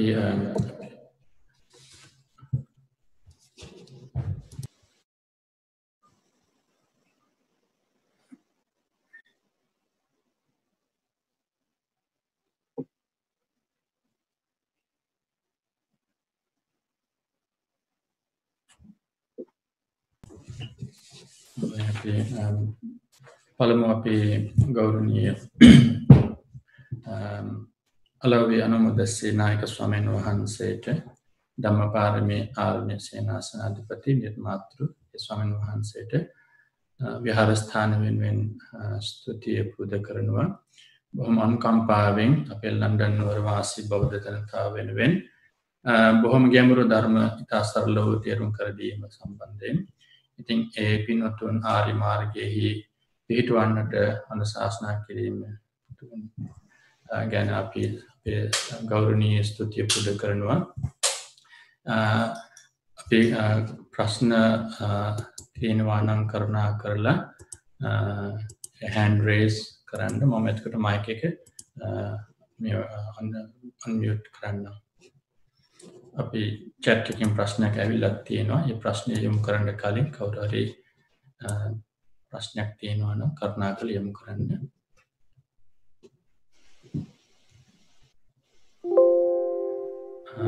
ස්වාමීන් වහන්සේ මේ ප්‍රශ්නය මාධව කියන පිනත් පිනත්තාගෙන් මම වැරදි කියලා ප්‍රඥාව වැඩෙනවා මායාකාරී විඤ්ඥානයෙන් ප්‍රඥාව හරි බව දකිනවා. මහාවේදල්ල සූත්‍රයේ විඤ්ඥානය ප්‍රඥාව දෙකක්. හැබැයි වෙන් කරන්න බැහැ මේ දෙක එකට පවතින විදිය කරනාවෙන් පැහැදිලි කරලා දෙන්න. ස්වාමීන් වහන්ස. තෙරුවන් සරණයි. ඇතරම මේ කාරණාව අපි කතා කරන්න ඕන කාරණාවක්. මහවිදල් සූත්‍රය පැහැදිලි කරනවා විඤ්ඥානයයි ප්‍රඥාවයි පිළිබඳ සාරිපුට සාමීන් වහන්සේකදී පැහැදිලි කරනවා විඤ්ඥානය කියලා කියන්නේ දැනගන්නවා කියන ප්‍රඥාව කියලා කියන්නේ අවබෝධ කරනවා. එන් ප්‍රඥාවෙන් පජානවත් පජාන එකත් ප්‍රඥාවෙන් දැනගන්න කෙන අවබෝධ කරනවා මේ දෙක එකටද පවතින්නේ වෙන්වද? මේ දෙක වෙන්වනි මේ පවතින්න එකට. වෙන් කරන්නම බෑ. එක විඤ්ඥානය කතා කරන්න බෑ ප්‍රඥාව නැතුව. ප්‍රඥාව කතා කරන්න තියෙන විඤ්ඥානයක වෙන් කරන්න බෑ. කොහොම දෙක වෙන්නේ? විඤ්ඥානය අවබෝධ කිරීම ප්‍රඥාවයි. ගැන එක අවබෝධ කිරීම කියලා අපි දාගන්න එක ඒ පජානාති කියන එක තේරුම දැනගන්නවා කියන හැබැයි දැන ගැනීම පුද්ගලයක් කියන එක නෙමෙයි නුවණින් දැනගන්න. ඒ නිසා අපි දැනගන්නවා කියලා එකට දැම්මොත් අපි ඒකට විඥානය කියලා මහුවා. එතකොට විඥානය අවබෝධ කිරීම ප්‍රඥාව. ප්‍රඥාව කියලා විග්‍රහයක් හම්බෙනවා නම් ප්‍රඥාව කියලා ඒක දැන ගැනීම. ඒක විඥානය. එතකොට අපි ගත්තොත් එහෙනම් මෙහෙම අපි යම් කිසි කෙනෙක් කියනවා නම් මෙයයි විඥානය කියලා. යම් කිසි කෙනෙක් කතා කරොත් මෙයයි දැන ගැනීම කියලා. එයාම කියනවා නම් මම මට ප්‍රඥාව නැතු මම මේ විඥානය හම්බුනේ කියලා. ඒක බුද්ධ දේශනාවට ගැලපෙන්නේ නැහැ. එහෙම වෙන්න බෑ. මොකද විඥානය හම්බෙන්නේ ප්‍රඥාවටයි. විඥානය කියන්නේ දැන ගැනීම දැන ගැනීම දැන ගැනීමක් කියන එකට හම්බෙන්නේ. ආයෙත් දැන ගැනීමන්නේ. ආ මෙන්න මේක තමයි විඥාන විඥානීය මේක තමයි විඥානීය කියලා දැනගන්නවා. ඒත් දැන ගැනීමන්නේ. ආ ඒක නෙමේ විඥානීය මේක කියලා ආයෙත් දැනගන්න. ඒත් දැනගන්න. කො විඥානීය හම්බෙන්නේ. හම්බෙන්නේ. විඥානීය කියන්නේ මායාවක්. මැවීමක්. මායාවක් කියලා කියන්නේ යම් කිසි කෘත්‍යයක් නෙමෙයි. ඒ කියන්නේ යම් කිසි ද්‍රව්‍යයක් නෙමෙයි. මායා බව කියන්නේ. මායිත්වය. එතකොට මේ මායාව කියන කාරණාව ඔන්න කෙනෙකුට ලෝකේ පිටින් ඉඳන් බලන්නේ අපි කියන මැජික් එකක් පෙන්වනවා කියලා. ඒ මැජික් එක පෙන්නකොට ඒ මැජික් එක තුලින්ම කරුණකින් ඒක මැජික් එකක් කියලා හම්බෙන්නේ ඒක ඇත්තක් කියලානේ හම්බෙන්නේ. හැබැයි මැජික් එකේ ක්‍රියාව හොඳට පිටේ ඉඳලා මැජික් එකක් හැටියට නිරීක්ෂණය නොකරන කෙනාටයි මේක මැජික් එකක් කියලා හම්බෙන්නේ. මෙන්න මේ වගේ තමයි මායාව නැත්නම් විඥානය මේ දැන ගැනීම කියන කාරණාව දැන ගැනීම කියලා හම්බෙන ප්‍රඥාව. හැබැයි ඒක ප්‍රඥාවෙන් පජානාති වීමක් කියලා කියනවා. එතකොට යම් කිසි කෙනෙකුට හම්බුණා නම් මේ ප්‍රඥාවයි කියලා ඒ මොකද්ද? දැන ගැනීම. ප්‍රඥාවයි කියලා හම්බුණා නම් ඒ ප්‍රඥාවයි කියලා හම්බ වීම මොකද්ද? දැන ගැනීම. හරියටම ප්‍රඥාවයි කියලා හම්බ වෙනවා කියන කාරණාව කෙනෙකුට කතා කරන්න එන්නේ ඊතර වීමක් එක්ක පමණයි.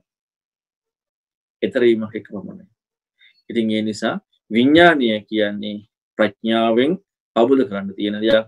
ප්‍රඥාව කියලා විඥානින් දැනගන්න. එතකොට යම් කිසි කෙනෙක් දැන ගැනීම තුළ ඉන්නනම් ඊතර වෙලා නැහැ. සතුටු වෙලා නම් එතන ඊතර වෙලා නැහැ.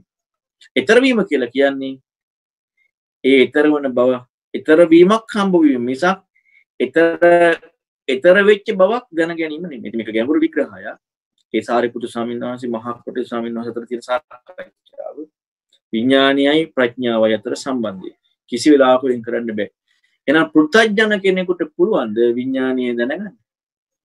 දැන ගැනීමයි කියලා? දැන ගැනීමයි කියලා නිවැරදිව හම්බෙන්නේ නැහැ. දැන ගැනීම නෙමෙයි පෘථජනයට හම්බෙන්නේ. මොකද හම්බෙන්නේ? පෘථජනයට හම්බෙන්නේ දැන ගැනීම මම කියලා තමා කියලා. දැන ගැනීම හම්බෙන දැන ගැනීම තමා කියලා. දැන ගැනීම තමා කියලා හම්බෙන දැන ගැනීම තමා කියලා හම්බීම සක්කාය දිට්ඨිය. සක්කාය දිට්ඨියක් කියලා හම්බුණා නම් ඒක ප්‍රඥාවක් අන්නේ සක්කාය දිට්ඨිය දුරු කරනවා. ඉතින් ඒ නිසා මේ දැන ගැනීම නැත්නම් විඥානය ඊළඟට මේ අවබෝධ කිරීම නැත්නම් ප්‍රඥාවෙන් දැන ගැනීම ප්‍රඥාව මෙන්න මේ දෙක වෙන්ව කතා කරන්න බෑ. එහෙනම් සෝතාපන්න නැත්නම් ප්‍රඥාව උදා වුණා කියන සෝතාපන්න කෙනාටනේ. සෝතාපන්න වෙනකන් කතා කරන්න බෑ. එතකන් සක්කාය දිට්ඨිය හැටියටයි සෝතාපන්න මාර්ගයේදී කෙනෙකුට දැනගන්න තියෙන්නේ ඉතින් ඒ නිසා අපි ඒ කාරණා පිළිබඳව හොයන්නට ඕනේ. අපේ ජීවිතය දැන ගැනීම මොකක්ද කියලා හොයාගෙන යනකොට සක්කාය දිට්ඨියයි හම්බෙන්න තියෙන්නේ. ඒ කියන්නේ දැන ගැනීම තමන් කියන කාරණාව. මිසක් දැන ගැනීම නෙමෙයි. දැන ගැනීම තමා කියන කාරණාව නිවැරදිව හම්බුනාන එයාට අන්න එතනදි උපදිනවා චන්දයක් ඊළඟට උත්සාහයක් මේ තහර්සිය දැකීම් පිණිස එයා තමයි නිවන් මාර්ගයට යමුවෙන් ඒ තමයි ධර්මී මූලාරම්භය තෙරවසරන තෙරසන්නකන්නේ තව ප්‍රශ්නයක් තියෙනවා හඳුරින් තෙරුවන් සරණයි ස්වාමීන් වහන්සේ අවසරයි. ප්‍රශ්න දෙකක් තියෙනවා ස්වාමීන් වහන්සේ. මට මේ අවස්ථාවේ මතුවෙච්ච දැන් වහන්සේ අර රූපණය වෙන මේ වචන වලින් රූපය ගැන මේ අපිට පැහැදිලි කෙරුවා. අපිට දැන් රූපය සතර මහා ධාතු සහ සතර මහා ධාතුන්ගෙන් හටගත් දේවල් වශයෙන් කියන දෙක ඒ දෙකේ වචන දෙකේ අතර වෙනසයි. තව ප්‍රශ්නයක් තිබුණා ස්වාමීන් වහන්සේ. මේ ආනන්තරික සමාධිය දැන් ඇත දෙක අතරේ තියෙන දෙයක්ද කියලා එක දේශනාවක මට අහන්න ලැබුණා. ඒ ඒ ප්‍රශ්න දෙක ස්වාමීන් වහන්සේ තියෙන අවසර. ඔව් ආනන්තරික සමාධිය කියලා කියන්නේ යමක තියෙන එකක් නැත්නම් එහෙම කියන්නේ දැන් අපිට අතරක් නැහැ නැත්නම් ඒ ආනන්තරික සමාධිය තව කතාව නිබ්බාණය පිළිබඳව විස්තර ගොඩක් තැන්වල තියෙනවා. ඒකට ඔය සමාධිය පිළිබඳව විග්‍රහයම තමයි පැහැදිලි කරලා පෙන්වන නිබ්බාන සූත්‍රවලදී ලෝකයේ යම් කිසි දෙයක්ද විවහාර වෙන්නේ පැනවන්නේ කතා කරන්න පුළුවන් වෙන්නේ විග්‍රහ කරන්න පුළුවන්. ඒ සියලු කතා විවහාර විග්‍රහ ඉක්මවීම. එතකොට ඒක ඉක්මවීම කෙනට කෙනෙකුට නෑ කියන සංකල්පන නිසා නෑ කියන එක නැතුව කතා කරන්න. අනන්තරික සමාධිකයන් යම් තැනක යම් අවස්ථාවක යම් එහෙම එකක් නෙමෙයි. කෙනෙ දැන් අපි අනන්තයි කියලා මනිනකොට අනන්ත අපට සීමාවක් නෙමෙයි. එතකොට අපි දැන් බුදුගුණ අනන්තයි කිය කියනවා හැබැයි මනිනවා. ඉතින් මැනල අනන්තය කියලා ලේබල් එක. ඒතකොට අනන්තරික කියන කාරණාවෙත් මේ කිසිම අතරක් කිසිම සම්බන්ධයක් කිසි විග්‍රහයක් එදෙන්නේ නැහැ. ඉතින් ඒ නිසා යම්කිසි විග්‍රහයක් යම්කිසි සම්බන්ධයක් යම්කිසි පැහැදිලි කොට කියනවා අද කතා කරනකොට මේකට මේ නිවීම කියන නිර්වචනය නිවැරදිව පෙන්න නිවුණා කියනකොට නිවීමට එතනින් එහා පැහැදිලි කිරීමක් දෙන්නේ නැහැ. ඉතින් ඒක නිසා අනන්තරික සමාධිය කියලා කියන්නේ කිසිම දෙයක් එක්ක සම්බන්ධයක් කතා කරන්න බෑ. අසංකත සංකත කතා කරනකොට සංකතය කියලා කියන්නේ ලෝකේ සකස් වීම කියන නිර්වචනය. ඒක ආරෂ්ඨාංග මාර්ගය සංකතයි. හැබැයි නිවීම කියන්නේ අසංකතයි. එතකොට ආරෂ්ඨාංග මාර්ගයත් සංකතයි. හැබැයි සංකතයි කියලා මේ අපි දැන් කතා කරන හැම එකම තියෙන තියෙන දෙයක සකස් වීම. එහෙම එකක් නෙමෙයි. සකස් වීමක් කියන්නේ මේ සකස් වීම ඉක්මවීමයි අසංකතය කියලා කියන්නේ. ඉතින් අසංකත බවක් කතා කරනකොට කොහොමද අපට සකස් වීමක් තව දෙයක් පාදක කරන කතා කරන්න පුළුවන් වෙන්නේ? කතා කරන්න බෑ. ඊළඟ තමයි රූපය විග්‍රහ කරනකොට රූපණීය වෙනවා කියන අර්ථය පැහැදිලි කරනවා. ඒක තමයි රූපේ නිර්වචනය. එතකොට මේ නිර්වචනයේදී පැහැදිලි වෙනවා කරුණු කිහිපයක්. අපි දැන් ඔය ඔක්කොම පැහැදිලි කරන්න බැරි නිසා ඔබතුමිය ප්‍රශ්නෙට අපි උත්තරයක් කතා කරමු. මේකේ පැහැදිලි කිරීම. අතර මහා ධාතු, අතර මහා ධාතු උපාදානිය හටගත්තා. එතකොට හතර මේ කරුණු දෙකක් වෙනවා. හතර මහා ධාතු, හතර මහා ධාතු උපාදානිය. කරුණු දෙකක්නේ. දැන් අපි ගත්තොත් එහෙම අර උපාදානයේ උපාදාය රූප කියන වචනේ අතහැරලා හතර මහා ධාතු කියන දේ කතා කරලා බැලුවොත් හතර මහා ධාතු කියන්නේ පඨවි ආපෝ තේජෝ වායෝ කියන්නේ තද ගතිය. තද ගතියට පඨවි කියන්නේ කක්කල කරිගත කියන එකනේ. පඨවි විග්‍රහ කරන්නේ කක්කල කරිගත. තද ගොරෝසු. එතකොට පඨවි කියන්නේ කක්කල කරිගත කියන තද ගොරෝසු කියන එක. යමක් වස්තුවකට නෙමෙයි තද ගොරෝසු කියන එක. එතකොට දැන් ඔන්න හිතන්න බලන්න රූපය කියලා විග්‍රහ කරන්නේ පංච උපාදානස්කන්ධයේ රූපය විග්‍රහ කරන්නේ ඇහැට විග්‍රහ කරනවා. කනට විග්‍රහ කරවසේ විග්‍රහ කරනවා. නාසය දිවකය මනස. මේ සෑම දේ ඔස්සේම දැන් අපි ගත්තොත් මහා පදෝපම සූත්‍රය මේ හැම එකම විග්‍රහ කරලා පෙන්නනවා මේ රූප උපාදානස්කන්ධය පිළිබඳව ආයතන හය ඔස්සේ. මහා පත්වතුන් සූත්‍රය පැහැදිලි කරනවා. ඇසත් රූපත් ඇසේ විඤ්ඥානයත් එකතුවීමේ හටගත් අතහ භූතස් රූපමි හට ගැනීමේ රූපය රූපාස්කන්දය මනත් දම්මත් මනෝවිඤ්ඥානයත් එකතුවීමද ඒ හට ගැනීමේ රූපය රූපාස්කන්දය එතකොට එහෙනම් මේ ආයතන හයටම ගෝචර එතකොට දැන් හද ගොරෝසු කියන එක ප්‍රකට වෙන්නේ පටවි කියන ගත්තිය තද ගොරෝසු කියන එක ඇහැට හම්බෙනවා තද ගොරෝසු කියන එකක් ඇහැට හම්බෙන්නේ තද ගොරෝසු කියලා එක තාත්තික නිර්වචනය. තද ගොරෝසු කියන එක තාත්තික නිර්වචනය ප්‍රායෝගිකව කයට පොට්ටබ්බයක් එක්කන හම්බෙන් තද ගොරෝසු ගතිය. ඇහැකට හම්බෙන්නේ නෑ කනකට හම්බෙන්නේ නෑ නාසයකට හම්බෙන්නේ නෑ දිවකට හම්බෙන්නේ නෑ මනසකට හම්බෙන්නේ නැහැ තද ගොරෝසු ගතිය ගතියක් හම්බෙන්නේ නැහැ එතකොට ගතිය හම්බෙන්නේ කයකට හැබැයි මේ රූපය කියන කාරණාව මේ ආයතන හය ඔස්සේම සකස් වීම කතා කරනවා. එතකොට එහෙනම් හතර මහා ධාතු කියලා කතා කරුවොත් තාත්වික ප්‍රායෝගික බවක් එකේ එන්නේ නැහැ. ඇයි හද ගොරෝසු ගතියක් ඉස්මතු වෙන්නේ නැහැ. ඇහැකට, කනකට, නාසයකට, දිවකට, මනසකට. හයකට විතරයි ඉස්මතු වෙන්නේ. ඊළඟට දෙවැනි කාරණාවේදී සතර මහා ධාතු කතා කරලා හතර මහා ධාතු උපාදාන. ඒ කියන්නේ උපාදාන කරගෙන. ඒ කියන්නේ සතර මහා ධාතු හේතු කරගෙන, උපාදාන කරගෙන. දැන් අපට ඇහින් රූපයක් දකිනකොට ඔන්න තද ගතියක් කියලා තද ගතියක් කියලා නෙමෙයි තද ගතියක් හේතු කරගෙන කියලා හම්බ තද ගතියක් ප්‍රකට නැහැ තද ගතියක් උපාදාන කරගෙන කියලා හම්බ කණ්ඩ සද්දයක් ඇහෙනකොට තද ගතියක් උපාදාන කරගෙනයි කියලා හම්බ අද ගතියක් කියන එක නෙමේ තද ගතියක් උපාදාන කරගෙනයි හම්බ එහෙනම් තදගතියක් උපාදාන කරගෙන කියන එකයි තද ගතියක් කියන එකයි මේ දෙකම නිර්වචනය කරාම රූප උපාදානස්කන්ධය කියනකොට ආයතන හයතම ගෝචරයි. අපි මේ හැම එකම බලන්න ඕනේ විෂය සිලබස් එකක් නැත්තම් දැනුම් සම්භාරයක් කියන කාරණාව ඉක්මවලා අපි මේ බලන්න ඕනේ ප්‍රායෝගික ප්‍රතිපදාවක් කියන එකත් එක්ක. ප්‍රායෝගික තාත්වික ප්‍රතිපදාවක් කියන එකත් එක්ක.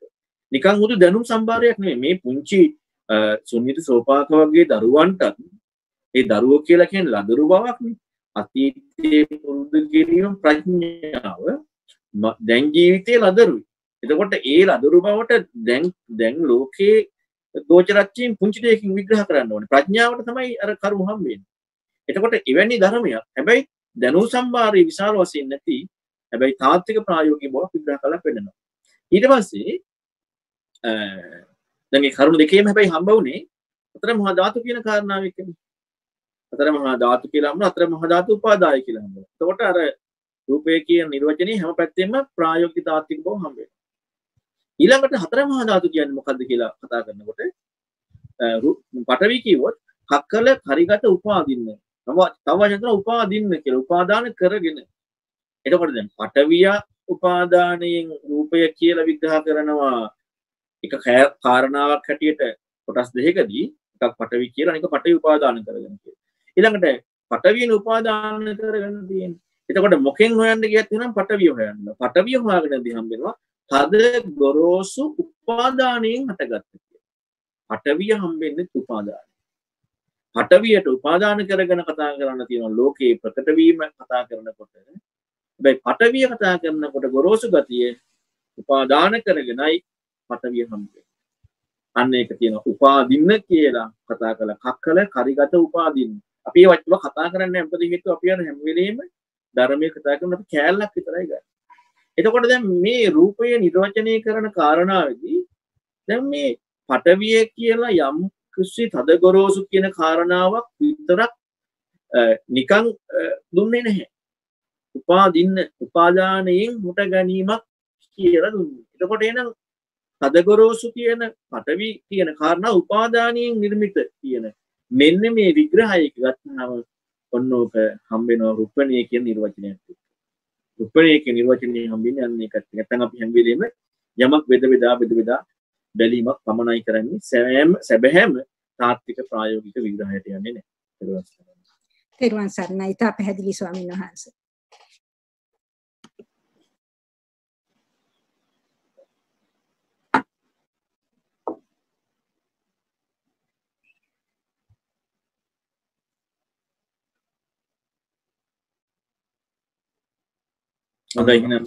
සෝරි මගේ තව කොතරක් වෙලා තියෙනවද ස්වාමීන් වහන්සේ? ප්‍රශ්න කීපයක් ඇවිල්ලා තියෙනවා. ප්‍රශ්නයක් විතර අහන්න වෙනවා? එකක් ඕකේ අර අප පිළිලන මුලින්ම අපිට අහන්න. අනිත්‍ය දුක්ඛ අනාත්ම වඩන කෙනා එය අතැරියේ නැත්නම් සංඥාවක් ඇත නැත කියන නේව සංඥා නා සංඥා ඉපදෙනවා කියන එක කරුණාවෙන් පහදන්න ට ඇහුන්නේ ආයසරය කියෙන්? අනිත්‍ය දුක් අනාත්ම වඩන කෙනා එය අත්ඇරියේ නැත්නම් සංඥාවක් ඇත නැත කියන නේව සංඥනා සංඥා ඉපදෙනවා කියන එක කරනාවෙන් පහදන්න. මේ ඇත්තනම ආනජ සප්පාය සූත්‍රය තියෙන විග්‍රහය පෙන්ඩෝන අහන්නේ. ආනජ සප්පාය සූත්‍රය තියෙනවා ලස්සන විග්‍රහය ඉතින් එක ඇත්තරම තේරුම් ගන්න ලොකු නොනක් ඕන්න එතන පැහැදිලි කරන්නේ අනිත්‍ය දුක්ඛ අනාත්ම කියන කාරණාවේදී ගැඹුරු විග්‍රහයක්. කියන්නේ දැන් සාමාන්‍ය ලෝකයේ අනිත්‍ය දුක්ඛ අනාත්ම කියලා කෙනෙක් හිතනවා කියන එක නෙමෙයි. අනිත්‍ය දුක්ඛ අනාත්ම හැටියට එතන පැහැදිලි කරන්නේ නෝචස්සන් නෝචමේසියා න භවිෂ්‍යති නමි භවිෂ්‍යති. කියන්නේ මම කියලා කියන්නේ යෙදෙන්නේ නැතිනම් වන් ඊළඟට මගේ කියලා එකක් යෙදෙන්නෙත් නැහැ. මම වන්නේ කියලා හම්බෙන්නෙත් නැහැ. මගේ වන්නේම කියලා හම්බෙන්නෙත් නැහැ. මෙන්න මේ විදිහට තාත්‍රිකව මේ අනාත්මය ප්‍රකට වීම තන් ගැඹුරු විදර්ශනාවක් විශ්මතු කරලා පෙන්න්නන්නේ මෙන්න මේකෙදී ආනන්ද මහරතන් වහන්සේ ඔය පැහැදිලි කරාට පස්සේ බුදුරන් වහන්සේ අනස්වාමීන් වහන්සේ අහන ඔහොම ওই විදිහට වාසය කරන කෙනා පිරිනොම් පානවල කියලා. බුදුරන් වහන්සේ වෙලේ පැහැදිලි කරනවා නේ ආනන්ද කෙනෙක් එක්කෙනෙක් පිරිනොම් පාන එක්කෙනෙක් පිරිනොම් පාන්නේ. ඒක බුදුරන් වහන්සේ ඉතින් ආනසන්න ආනසන්න සහන බුදුරන් වහන්සේගේ ස්වාමීනි ඇයි කෙනෙක් පිරිනුවම් පාන්න ඇති ඇයි මෙච්චර මේ කැන මේ මේ පෙන්න්නන්නේ ඉතාම නිවැරදිවම මේ මාර්ගඵල ලාබී කෙනෙක්. මේ නිකං කෙනෙක් නෙමේ මාර්ගඵල ලාබී කෙනෙක්. ද විදර්ශනයෙන් උපරීමයට ගිය කෙනෙක් එවැනි කෙනෙක් පිළිබඳ එතකොට ඇයි ඔහු පිරිනුවම් පාන්න ඇති ඊළඟට බුදුරණස් දෙන උත්තරේ තමයි ආනන්ද යම් කිසි කෙනෙක් උපාදානයක් තියෙනවන බැඳීමක් තියෙනවන මම බැඳීම සහිත නිවෙනවා කියන්නේ නෑ. යම් කිසි කෙනෙකුට බැඳීම නැතිනම් එකන්නේ සැබැහැම මාර්ගය කියන කාරනට බැඳීම නැතින ඔහු නිවෙනවා. බැඳීම තියෙනවන ඔහු නිවෙන්නේනේ ඔහු උපදිනවා. එතකොට ආනස්වාමීන් වහන්සේ කියන සෝතපන්න ශ්‍රාවකයෙක් කොහෙද උපදින ප්‍රශ්නයක්. ඇයිද මේ උපදීමක් කතා කරන්න නම් අනිවාර්යයෙන් යම් කිසි දෙයක් පැවැත්මක් උපාදාන කරගන්න. මේ උපාදානය තියෙන්නේ ඊටාම ගැඹුරු විදර්ශනාවක් නොචස්ස නොච මේසියන් න භවිෂ්‍යති මේ භවිෂ්‍යති කියලා. මෙන්න ගැඹුරු විදර්ශනාව. තොට මේ ගැඹුරු විදර්ශනාව උපාදානයද කොහොමද? උපදින කොහෙද උපදී ඉරන බුදුරන් වහන්සේ මේ ලෝක අග්‍රම භවය තමයි නව සංඥා නා සංඥායත එතකට අග්‍රම භවය කියලා කොල්ල ඇයිද ලෝකයේදී නිර්වචනයක් නැහැ? ඒ සමාධිය වටලා නැහැ. හැබැයි අග්‍රම වෙන වෙන උපදින තැනක් නෑ හැබැයි උපාදාන කරගෙන නින උපාදානට අදාළ උපදිනවා. හැබැයි මේක නෝචස්ස නෝචමේසියා කියන කාරණාව දී නේව සංඥා නාසංඥා එතන නැත්නම් විදර්ශනාවේදී යම් කිසි කෙනෙක් ඒ නුවණ යුක්ත වාසය කරාට ලෝකයේ පැත්තෙන් උපාදානයක් තියෙනවා නම් ලෝකයේ පැත්තේ ඒ උපාදාන එක්ක ලෝකයේ විග්‍රහයක් කතා කරන්න පුළුවන්. ඒ තමයි ඇත කියන අන්තයක් දුර වෙනවා නැත කියන අන්තයක් දුර වෙනවා. කට්ටාංග සූත්‍ර පැහැදිලි කරනවානේ. පටි ලෝකයේ හට ගැනීම දකිනකොට නැත කියන අන්තය දුර වෙනවා. ලෝකයේ නිරෝධය දකිනකොට ඇත කියන අන්තය දුර වෙනවා. ඇත කියන අන්තයත් නැත කියන අන්තයත් දෙකම දුරු වුණා. ඒ කියන්නේ ඇතත් කියන එක දෙන්නේ නැහැ. නැතත් කියන එක දෙන්නේ නැහැ. හැබැයි උපාදානයක් තියෙනවා. ප්‍රතිපදා උපාදානය. ඇත කියන එක දෙන්නෙත් නැහැ. නැත කියන එක දෙන්නෙත් නැහැ. එහෙනම් උපාදානයක් ඇති නිසා ඇතත් නැතත් නොයදීමේදී ඇත නැත නැති බව නව සංඥා සංඥායතන ඉතින් ඒ නිසා ඒ ගැඹුරු විදර්ශනාවක් එක්ක නැත්නම් ඒ මාර්ගයට යොමු වෙච්ච කෙනෙක් එක්කයි ඒ පැහැදිලි කිරීම තියෙන්නේ.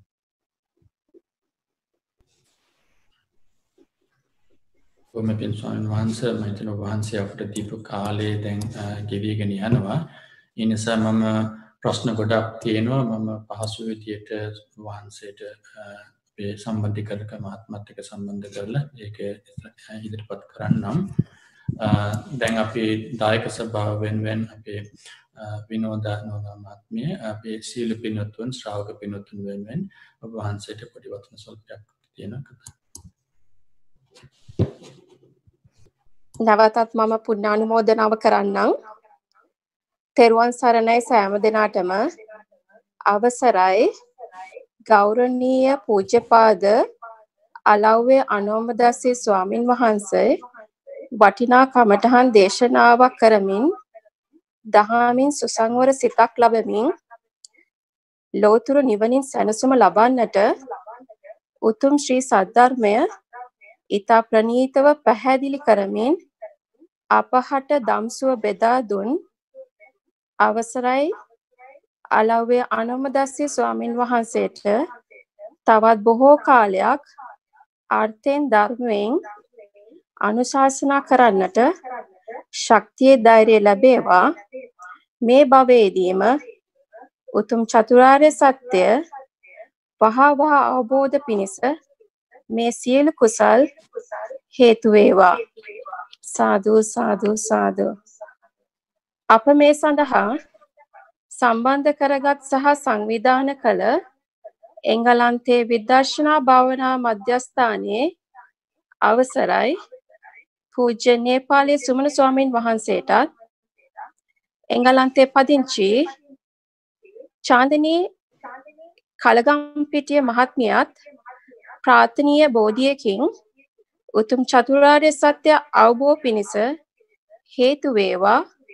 මේ උතුම් කුසල් නුවණින් සැනසෙම නිවනින් සැනසීමට උපකාරී වේවා. තෙරුවන් සරණයි. සාදු සාදු සාදු. තෙරුවන් සරණයි සියලු දෙනාටම. නායක ස්වාමීන් වහන්සේ බොහොම පිං අපේ මේ විහාරස්ථාන සම්බන්ධ පින්තුන් උදෙසා මේ ධර්ම දේශනාව පැවැත්වීමෙන් ඉතින් විහාරස්ථාන වෙනුවෙන් ඔබ වහන්සේට පැතු බෝධයකින් යම් බෝධයකින් උතුම මහා මහනිවන් සොය සාක්ෂාත් කරගන්නට අද දවසේ කරගත්තා පිළිහිත් වේවායි කියලා ප්‍රාර්ථනා කළ පුණ්‍යානුමෝදනා වෙනවා. සාදු සාදු සාදු. සියලු දෙනාටම පෙරවන් කරනවා